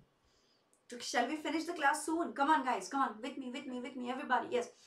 And what is K? Yes, so these are the molar concentration of your A and B respectively. And what is the K, my dear students? The K is the, what is going, what is it going to be? Velocity. Yes, it is the velocity constant or, or, or we can also call it as something very simple, very easy. That is your rate constant, my dear students. And yes, that is absolutely right. Okay, that is absolutely right. Now let us have a look at the different order of reactions. Okay, different order of reactions everybody and this is very important. We're going to draw a table and we're going to write it down. Okay. So we have different order reaction. Right? Yes? Okay. So first of all, I am going to write here order. Yes and make a table like this. So you will have zero order, you have first order and you have second order reactions, right? Then here we are going to write here rate law equation. How does the rate law equation look like? Then here we are going to write down the rate constant, my dear students. And finally, at the end, right here, we will write down the half-life period. That means at what time the concentration of the reactants will be half. So rate law equation, rate constant and half-life period. So are you ready everybody? Are you ready? Now, rate law equation, first of all everybody is that the rate is equal to k multiplied with a to the power 0 and that is your zeroth order. Okay. For rate law equation, first order re reaction, you will see that it is k multiplied with a to the power 1. Alright. And the rate for a second order reaction, my dear student, is going to be K multiplied with A to the power 2. Of course. Of course, everybody, right? Now the rate constant, everyone. So K is equal to 1 divided by T multiplied with 1 divided by T multiplied with everybody. Let's start a bracket here and let's write it as A naught minus A at T. Okay. This is going to be your zero order. That means that A naught is the initial and T at time T, what is the concentration? What is the molar concentration, right? Now, let's call this K1, that is for the first order reaction, K1. So, your K1, my dear students, is 2.303 divided by T, yes? And then what do you do? Log A naught divided by AT, alright, divided by AT And finally, your K2, that means for the second order reaction, it is 1 divided by t. Yes, and then here you start the bracket. You start the bracket and then you write here 1. A, here t minus 1 divided by a naught everybody. Alright. And now my dear students, let us go to the half-life that is t half is equal to, t half is equal to a naught divided by, oh, I have only written naught. Where is my a? Nowhere. So this is my a naught divided by 2 k okay divided by 2k second for first order reaction the half life period everybody is t half is equal to 0.693 divided by k all right and finally my t half is equal to 1 divided by a naught here k that's it that's it everybody all right yes and now everyone, now everyone, what do we have here? So this is again, this this looks a little better. This is also there. You can go through this as well. This is all the four, all the formulas plus those students who are willing to go the extra mile and study it properly. Here you also have 3 by 4th life. That means for the quarter life, what is the time what is the you know what, what is the time that is given to you? From here you can also find out the rate constant. From here you can also find the molar constant concentration. So please go through this tables okay? It took me a lot of time. It took uh, you know Seema ma'am who makes these slides for us. Seema ma'am also a lot of time to make this table and make sure that all the kids they understand at just one single time when we teach them. So she, both of us you know we made some effort. So please make sure that you study this okay now, what if you are not asked to find for first order or second order of a zero order, but what, what if in the question it is given to you as for nth order reaction? So, my dear students, for nth order, yes, nth order reaction, let us have a look at it. Nth order, nth order reaction. So, you have T half, yes, which is directly proportional to 1 divided by, what do you write here? A naught n minus 1. That's it. That's it, that's it, that's it, that's it, that's it. Okay. All right, everybody. Then we come across, then we come across temperature coefficient for which I have the formula here and Arrhenius equation. Your Arrhenius equation is K is equal to A e to the power minus E A divided by RT wherein you can take it as ln k is equal to minus ea divided by rt plus ln of a. And then if you convert it to log you will have log k2 divided by k1 is equal to ea divided by 2.303 r. 1 by t1 minus 1 by t2 all right? Yes everybody? Now what is temperature coefficient? Temperature coefficient is the ratio of rate constants of a reaction at two different temperatures. What did I say? The ratio of rate constants of a reaction at two different temperatures which differs by 10 degree. Which differs by 10 degree. That means on a very easy and simple way we can explain it as let's say that you have K1. Yes, you have K1 plus 10 divided by K1 and that value should be always equal to 2 to 3. It comes around 2 to 3. However, this is not majorly used. What is used is you write it as Q10 is equal to R2 divided by R1 10 degrees Celsius divided by T2 minus T1. This formula is very much useful everybody. And with this note we have come across the end of chemical kinetics. And now my dear students, what are we going to do? We are going to have a look at equilibrium. How many chapters do we are we left with everyone? After equilibrium, oh that's it, we are almost done. After equilibrium, we only have uh, atomic structure, thermodynamics, and we have a chemical bonding. That's it, that's it, that's it, yeah. So we're almost done. Let us have a look at it. Chemical equilibrium, we are yet to, uh, you know, we are still going to write a little bit in, in, in chemical equilibrium. But after that, most of the things are written for you. So what is equilibrium? Equilibrium is basically when the rate of the forward reaction is equal to rate of the backward reaction. And please mark my words everybody. It is not that. It is not that whatever amount you have taken of the reactant and the amount of the product, they become equal. No, it doesn't. It doesn't. Hmm? It doesn't what does it become? It's the rate that becomes equal. However, the concentrations that you have taken, the volume that you have taken, that becomes constant over the time. Okay? It becomes constant over the time. So right here, we can write it as everybody. Right here, we can write it as, have a look, that rate of forward reaction, rate of forward reaction becomes equal to rate of backward reaction. Cool.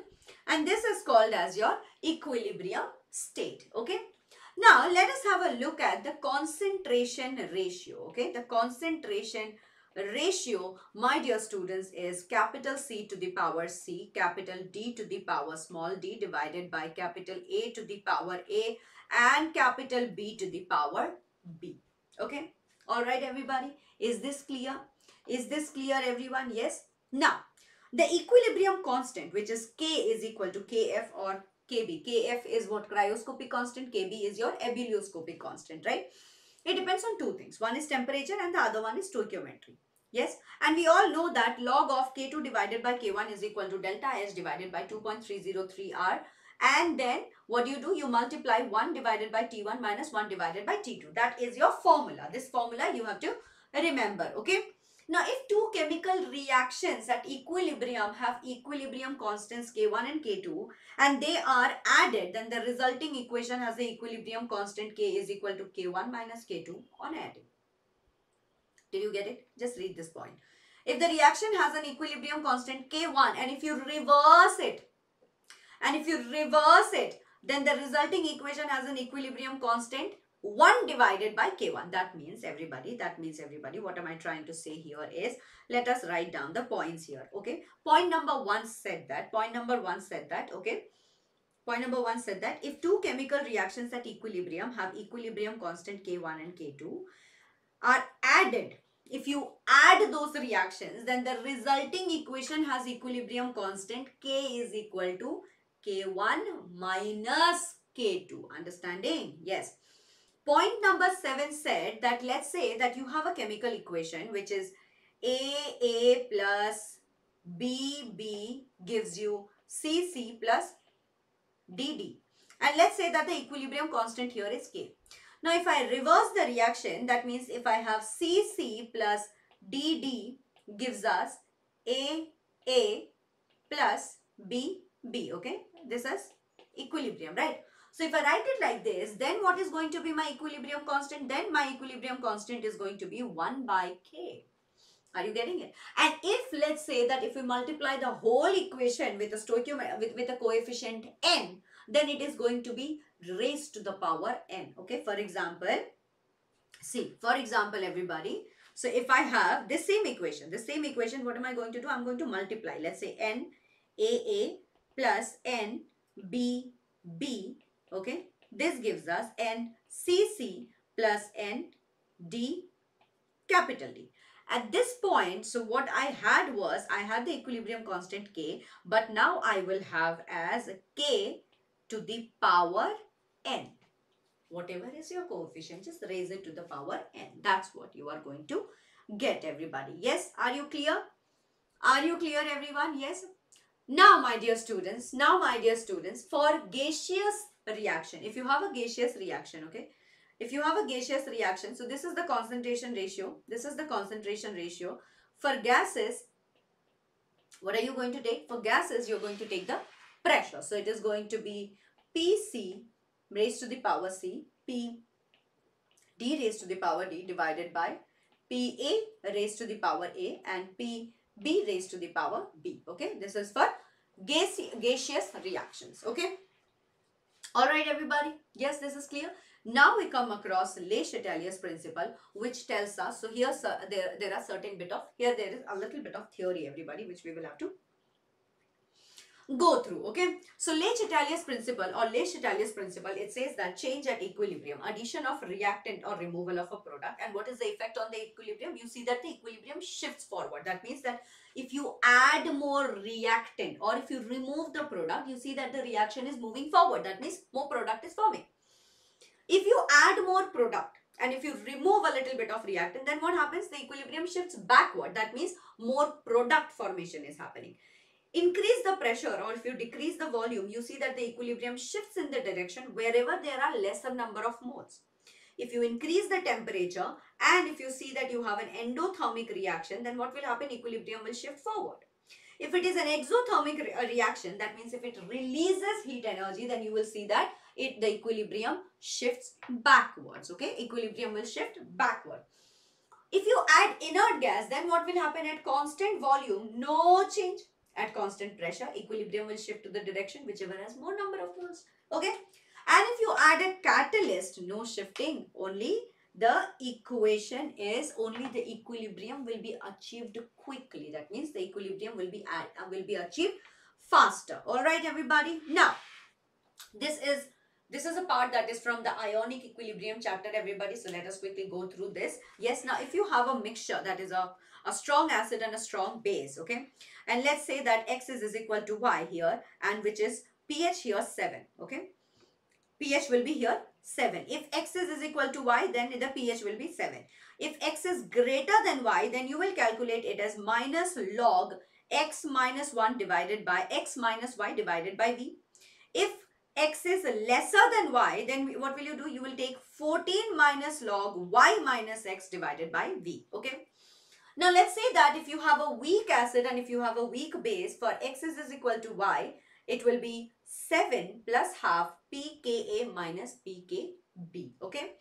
If there are two weak acids, then it will be minus half log C1Ka1 plus C2Ka2. If it is two weak bases, then it will be 14 minus half log C1Kb1 plus C2Kb2. These are the formulas. And my dear students, we finally come across types of butter, buffer, butter it seems, types of butter. No, types of, I think I'm really hungry. Are you too? If we shouldn't be. But I guess I, um, you know, the point is that I eat dinner very early. So maybe that's why I'm very, very, very hungry. right now. Anyway, let's quickly finish it. Yeah, so we have simple buffer, okay? What is simple buffer? For simple buffer, you will see that pH is, is equal to 7 plus half, okay? You What will you write? You will write pH is, is equal to 7 plus half, alright? Yes, everybody, are you getting this? Are you getting this? Now, pH is, equal to 7 plus half, that's it. Nare baba, na, na, na. So what happened here is that this got exchanged. One second. I will copy a blank paper from here and I will write it in a better manner so that you have it. Huh. One second guys. Let me write this down because like I said, this happens to me, you know. This happens to me. What can I do? There is a glitch. Okay. So first of all, for simple buffer, For simple buffer, your formula is going to be pH is equal to 7 plus half pKa minus half pKb. Getting it? Okay. For acidic buffer, let's say that if you have an acidic buffer, then what are you going to do for acidic buffer? It is pH is equal to pKa plus log plus log of salt divided by concentration of acid. Okay.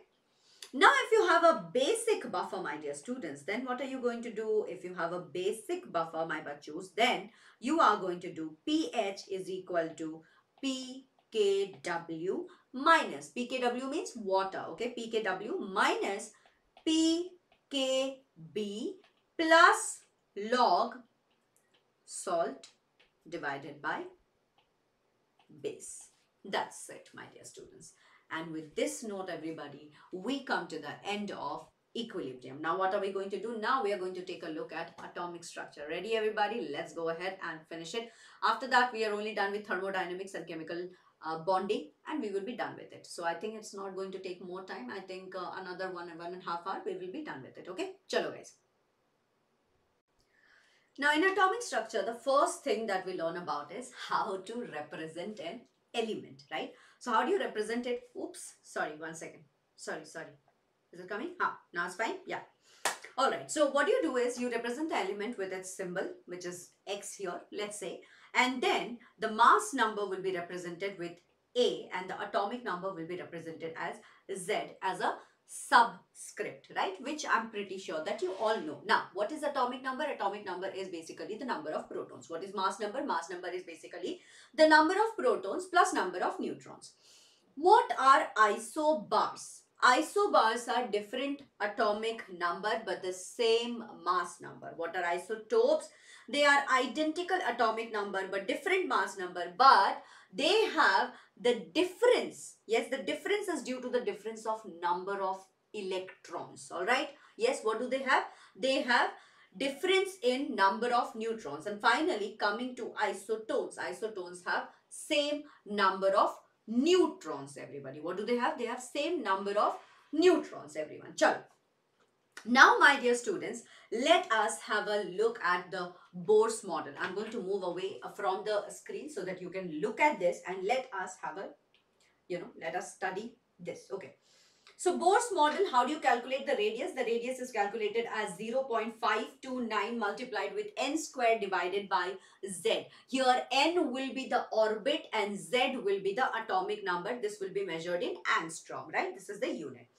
If you want to measure the kinetic energy, then the kinetic energy will be calculated as kZe square divided by 2R everybody.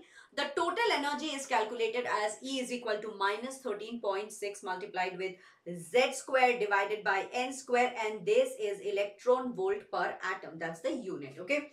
Potential energy is nothing but minus kZe square divided by R and velocity is calculated as 2.18 multiplied with 10 to the power 6 multiplied with z divided by n meter per second. That's the unit.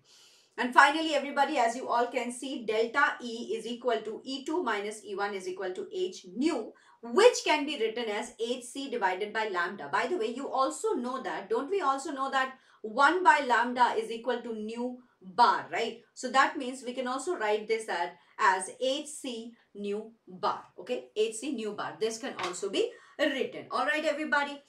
Now here is a little bit derivation of the kinetic energy and the potential energy. If you clearly look at it, I believe that you will be able to understand and we have taught you this already. Yes, but here is a quick recap of the formula. So chalo guys, yes. What is kinetic energy? As we have just discussed right now, it is kze square divided by 2r. Should I move this way? Yeah, I think that's better. And then potential energy is minus kze square divided by r. The difference is only minus half. Between kinetic energy and potential energy, the difference is only minus half. Now, the total energy, if you calculate, it will be kze square divided by 2r minus the potential energy because this is this has a negative sign, right? So minus kz square divided by r and that will give you minus kz square divided by 2r. So what happens bachos? Let's say that what you have is, let's say you have half minus you have 1. So if you calculate this, half minus 1, then what will you get? What will you get? It will be 1 minus 1 minus 2 divided by 2. That means it will be minus half, isn't it? So this is exactly what you're getting here. That's exactly what you're getting. All right. Yes, so that means that potential energy is equal to twice of total energy. Yes, and kinetic energy is equal to minus of total energy. Now, if we put the value of R here, then what will we get? We will get here total energy is equal to minus 2 pi square z square e to the power 4 k square m divided by n square h square. Okay, here n eh, eh, here h is your Planck's constant. Okay. Now we will quickly, quickly move to time period. Okay, time period as we all know it is distance divided by speed which is equal to 2 pi r divided by uh, v. Okay, which is equal to 2 pi r divided by v. That means we can write distance is, is equal to 2 pi r, isn't it? Distance is, is equal to 2 pi r. If we want to calculate it for frequency, then my dear students, what do we have to do? If we want to calculate it for frequency, then we will calculate it as, where should I stand? I'll stand it here. Yeah, I'll stand here. Frequency is equal to 1 divided by time is equal to speed divided by distance is, is equal to, what is speed here? Speed as you have just calculated, uh, speed is v. And what is distance? Distance is 2 pi r. So we can write it as 1 divided by t is equal to, is equal to speed divided by distance. This is equal to V divided by 2 pi. Makes sense? 2 pi R. Makes sense? Yes. Now delta E is equal to everyone. Delta E, the formula for delta E that is the change in the energy is E2 minus E1 is equal to H nu is equal to Hc by lambda. That means you can also write it as Hc nu bar. Okay. Alright. And if you solve it for lambda, okay, if you solve this whole thing for lambda, then you will get the Rydberg's formula wherein 1 by lambda is equal to nu bar is equal to RH multiplied with Z square divided by, multiplied with Z square multiplied with 1 by N square minus 1 by N2 square. Okay. Alright, now everybody, we also know about the spectral series. Yes, what are the? What are the names of the series? You have Lyman, Balmer, Paschen, Brackett, Pfund and Humphrey. Out of this, only Balmer has been discovered in the visible range. Apart from that, rest all are in the infrared region. However, Lyman is in ultraviolet region and Pfund and Humphrey are in far infrared region. So, in this case, Lyman N1, that is the ground state for Lyman series is 1, whereas the excited states are 2, 3, 4 and infinity. Right? Yes, this is in ultraviolet. Balmer is in 2. Balmer ground state is 2. The excited states are 3, 4, 5 to infinity. Right? Si similarly, you can, you can have a look for Paschen, Brackett, Pfund and Humphrey. Alright everybody, now what happens is, now what happens is, so this, this formula that we have, right, for this formula if we substitute the values 1 by lambda, nu bar is equal to RH, the value of RH is 109677 multiplied with 1 by n1 square minus 1 by n2 square centimeter to the power minus 1, okay? Alright, and this can be equal to delta n multiplied with delta n plus 1 divided by 2. This is how you calculate the number of spectral lines okay so if if they may ask you that how many lines are there in Lyman, how many lines are there in Balmer series, how many lines are there in Paschen series. If that question comes, then this is the formula that you apply to calculate that, okay. Now we are going to study about de Broglie wavelength everybody. The different formulas for the wavelength are lambda is equal to h by mv and lambda is equal to h divided by root over 2mke because because we can write it as we can write it like this okay? For h by mv mv can be written as mv can be written as 2mke root over 2mke okay? Now everybody what are we going to do? Now we are going to simplify it and just modify it a little bit. And what is it that we are going to get okay so h by root over 2m ke right? That means that that means that everybody we can also write it as lambda is equal to h divided by h divided by root over root over 2 m ev okay? Can we not write it like this? Root over 2m that we will calculate it in electron volt, right? That we will calculate it in electron volt. So now if we want to calculate lambda in angstrom, everyone, okay? If we want to calculate lambda in angstrom, then what will happen is, then what will happen is, it we will get it as 12.3 by root over V, okay? 12.3 by root over V, V as in frequency, okay? V as in frequency. For an electron, this is how we are going to calculate. Okay. Now, in, uh, in the atomic structure, we also have quantum numbers, yes, and there are four quantum numbers. What are the four quantum numbers? You have principal quantum number, azimuthal quantum number, magnetic and spin quantum number. The principal, azimuthal and magnetic quantum number, you get these from the Schrodinger's wave equation. However, spin quantum number cannot be figured out from the solution of the Schrodinger, Schrodinger wave equation. If you want to calculate the number of radial nodes, that is equal to n minus l minus 1. And if you want to calculate the number of angular nodes, that's equal to l. So total number of nodes becomes n minus l. Now, for principal quantum number, the possible values are whole numbers. That is 1, 2, 3, 4 and etc. What does it tell you? It tells you about the shell. If the principal quantum number increases, the size of the shell also increases. Getting it? Azimuthal quantum number tells you about the subshell. That means SPDF. Magnetic quantum number, it tells you about the orientation of the orbital. That means is it dxy, is it dy, z is it d uh, is is it dxy is it dx square minus y square or is it px is it py is it pz these things you will get it from the magnetic quantum number and the spin of the electron. That is it anti-clockwise or clockwise that you will get it from the spin quantum number. Getting it my dear students? Okay now, electronic configuration. To understand electronic configuration, there are three rules that is Aufbau principle, Pauli's exclusion principle and Hund's rule of multiplicity. Aufbau says that the orbitals are always filled in increasing order of energy. Yes, they are always filled in increasing order of energy. Okay. Hund's rule of multiplicity said that until and unless parallel a parallel spin, that means all the orbitals are not singly occupied, pairing will not start happening. So here, if we follow the n plus L rule, everybody, we see that if the n plus L are different, greater the n plus L value, greater is the energy of the orbital. And for some odd reason, if the n plus L values are same, then what will you prefer? You will prefer, you will first fill up that orbital which has a lower n value. That means that for 3p, for 3P and 4S, if you check, my dear students, for 3P and 4S, if you check, you will see that both of them have the same N plus L value. Okay, they have the same N plus L value. But what do we do? We fill up 3P before 4S because 3P has a principal quantum number value 3. That is why you will fill 3P first before 4S. Getting it?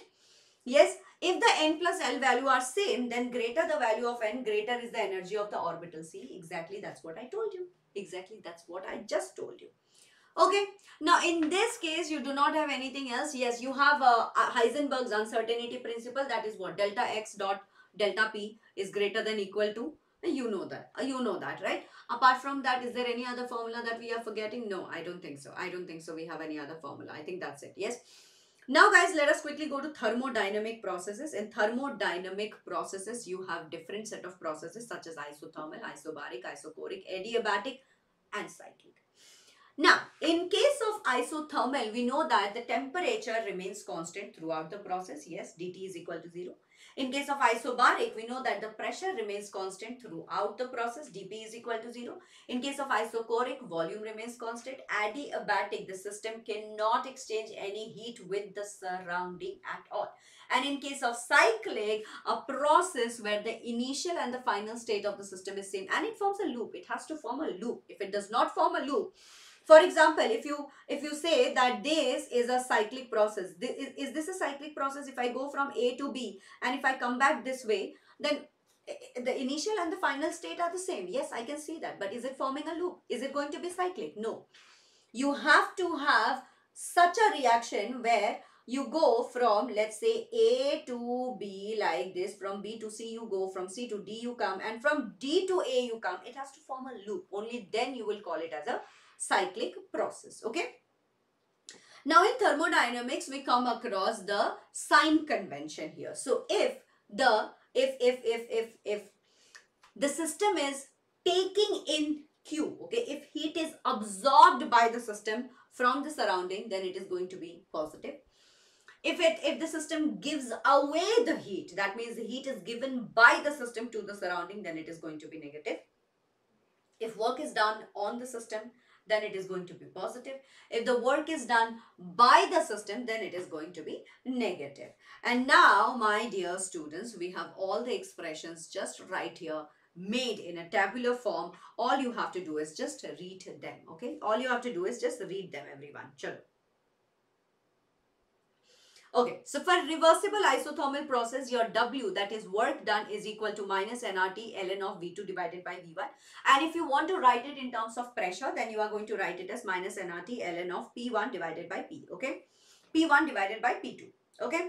Alright everybody, yes, got it, clear? Now, expression for Q, that means heat, okay? Now Q is equal to nRT ln V2 divided by V1 and Q is equal to nRT ln P1 divided by P2 in case you want to write it in terms of pressure. Delta U is equal to NCV delta T is equal to 0. Delta H is equal to NCP delta T which is also equal to 0. The work on the PV graph, this is how you denote the graph everybody. Okay, this is how you denote the graph. Now, irreversible isothermal processes, what do you have? Work done is equal to minus P external V2 minus V1 is equal to minus P external nRT divided by P2 minus nRT divided by P1. Huh? Expression for Q is equal to Q is equal to P external V2 minus uh, V1 and again delta U is equal to NCV delta T that is 0 for that is 0 here and delta H is equal to NCP delta T. That will also be equal to 0 okay? Now for isobaric process the work done is going to be equal to minus P external V2 minus V1 which is equal to minus NR delta T. How do you write Q here? You write Q is equal to delta H which is equal to NCP delta T. And then you can write for delta U that is internal energy change is equal to NCV delta T, right? That's how you uh, give it, isn't it? That's how you write the expression. That will be exactly equal to NCV delta T, okay? All right, everybody.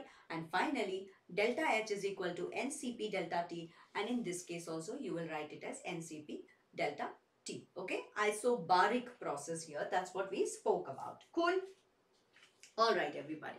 But that's is that the end of it? No. We also have isochoric process, we have reversible adiabatic process and we have irreversible adiabatic process everybody. So isochoric process W is equal to 0. W is equal to 0. Okay. Alright everyone. But Q is equal to delta U which is equal to NCV delta T. Okay. Now for a reversible adiabatic process, my dear bachos, let's have a look at it. Yes, for reversible adiabatic process, does anybody know? We all know that, right? W here is equal to, my dear students, it is NCV, okay, NCV T2 minus T1, okay, which is equal to, which is equal to P2 V2 minus P1 V1 divided by divided by what is it going to be divided by it is going to be gamma minus 1 okay divided by gamma minus 1. Alright everybody? The rest you can just go through the formulas. I think I have just, I have, I have recently taught you. Just go through this. That's it. It's not so much. Okay. It's not so much. These are the formulas. Irreversible adiabatic. These, these are the only things that they are going to ask you. Nothing more than that. Now, finally, we will go to chemical bonding. In case of chemical bonding, what are the things that we have to learn? First of all, geometry in which the central atom has no lone pair. You know, I told you how to calculate it. How do you calculate it? How do you calculate it for geometry? Or steric number. You calculate it as steric number is equal to number of lone pairs plus number of surrounding atom. If you do whatever number you get, that will be your steric number. And based on the steric number, you can calculate the geometry. Yes, if there is no lone pair, then also you have to calculate it just this way. So let's say that the number of bonded electron pairs are 2, then the shape is going to be linear. Example, BeCl2, HgCl2. Right, everybody? Yes. Now, if there are three number of bonded pair of electron, then it is going to be trigonal planar. And molecular geometry is also going to be trigonal planar. Example is BF3. If there are four number of bonded pair of electron, then the shape is going to be tetrahedral. Molecular geometry is also going to be tetrahedral. An example is CH4. So, for, for those molecules, for those uh, molecules, if there are no, no lone pair, then the arrangement of electron pairs and the molecular geometry are absolutely same as it is. But if there are lone pair, that's when there is a twist in the story, isn't it? But we will have a look at it, a look at that as well. If there are number of bonded pair of electrons 5, that means it will be trigonal bipyramidal. Molecular geometry is also trigonal bipyramidal. Examples are PCl5, okay? If it is 6, then it is octahedral. If it is 7, then it is, you know, distorted octahedral. No? What is it? If it is 7, if it is 7, then what is it? The answer is IF7. IF7 is an example, everybody. IF7 is an example, but you tell me what is the shape. Can I get it in the comment section, everyone? Can I get it in the comment section? Will you all be able to tell me? What is it going to be? What is it going to be? Pentagonal bipyramidal. Now, Baba, pentagon, right? You will you will make, make it in a pentagon and then there will be bipyramidal, one at the top, one at the bottom. So, it's going to be pentagonal bipyramidal, not distorted octahedral. If you thought that I was saying it right, no, I wasn't, okay? I was testing you. Okay, now if there are, let's say that if you have number of, now we have lone pair of electrons as well. Geometry in which the central atom has the lone pair of electrons. So, you have number of bonding pair 2, number of lone pair 1. It will be trigonal planar but the shape is going to be all you have to do is you will cover the lone pair. If you cover the lone pair what do you see? You see a bent shape isn't it? You see a bent shape. That's your shape. Similarly if you have three bonding pair plus one lone pair it will be tetrahedral but what do you have to do? You have to cover it. You have to cover it. The moment you cover it what do you see? Trigonal pyramidal. Similarly for 2 plus 2 you will have a tetrahedral shape once again but if you cover the lone pair which is the right here cover the lone pair what do you get? You get a bent shape again okay? So you get the point everybody. You get the point. This is how you have to calculate it. Apart from that in chemical bonding chapter you have no no other you know you have no other formula that i have to teach you. So with this note we have completed all the chapters for which we had to have a look at the for which we had to check out the formulas everyone. With this note let me tell you guys, in Vedantu, we have started with Vedantu daily practice problem. After every session, you get a quiz which is right below this video in the description box. Just start practicing the questions because it will be very, very, very beneficial for you. And do not forget to join the Telegram channel because you will be getting this notes also in the Telegram channel. I will provide that to you. Okay. And finally, with this note, everybody, thank you so much. Do not forget to be staying. Do not forget to be a part of this channel because Again, I will be coming up and I will tell you about the chemical, uh, in inorganic chemistry exceptions. And that is also going to be very beneficial. But I will try to wrap it up in within within one hour and I will not take too much time. So be there and I'll see you soon. Lots of love. Thank you so much for being here any which ways and all the very best for your exam. So see you guys. Bye.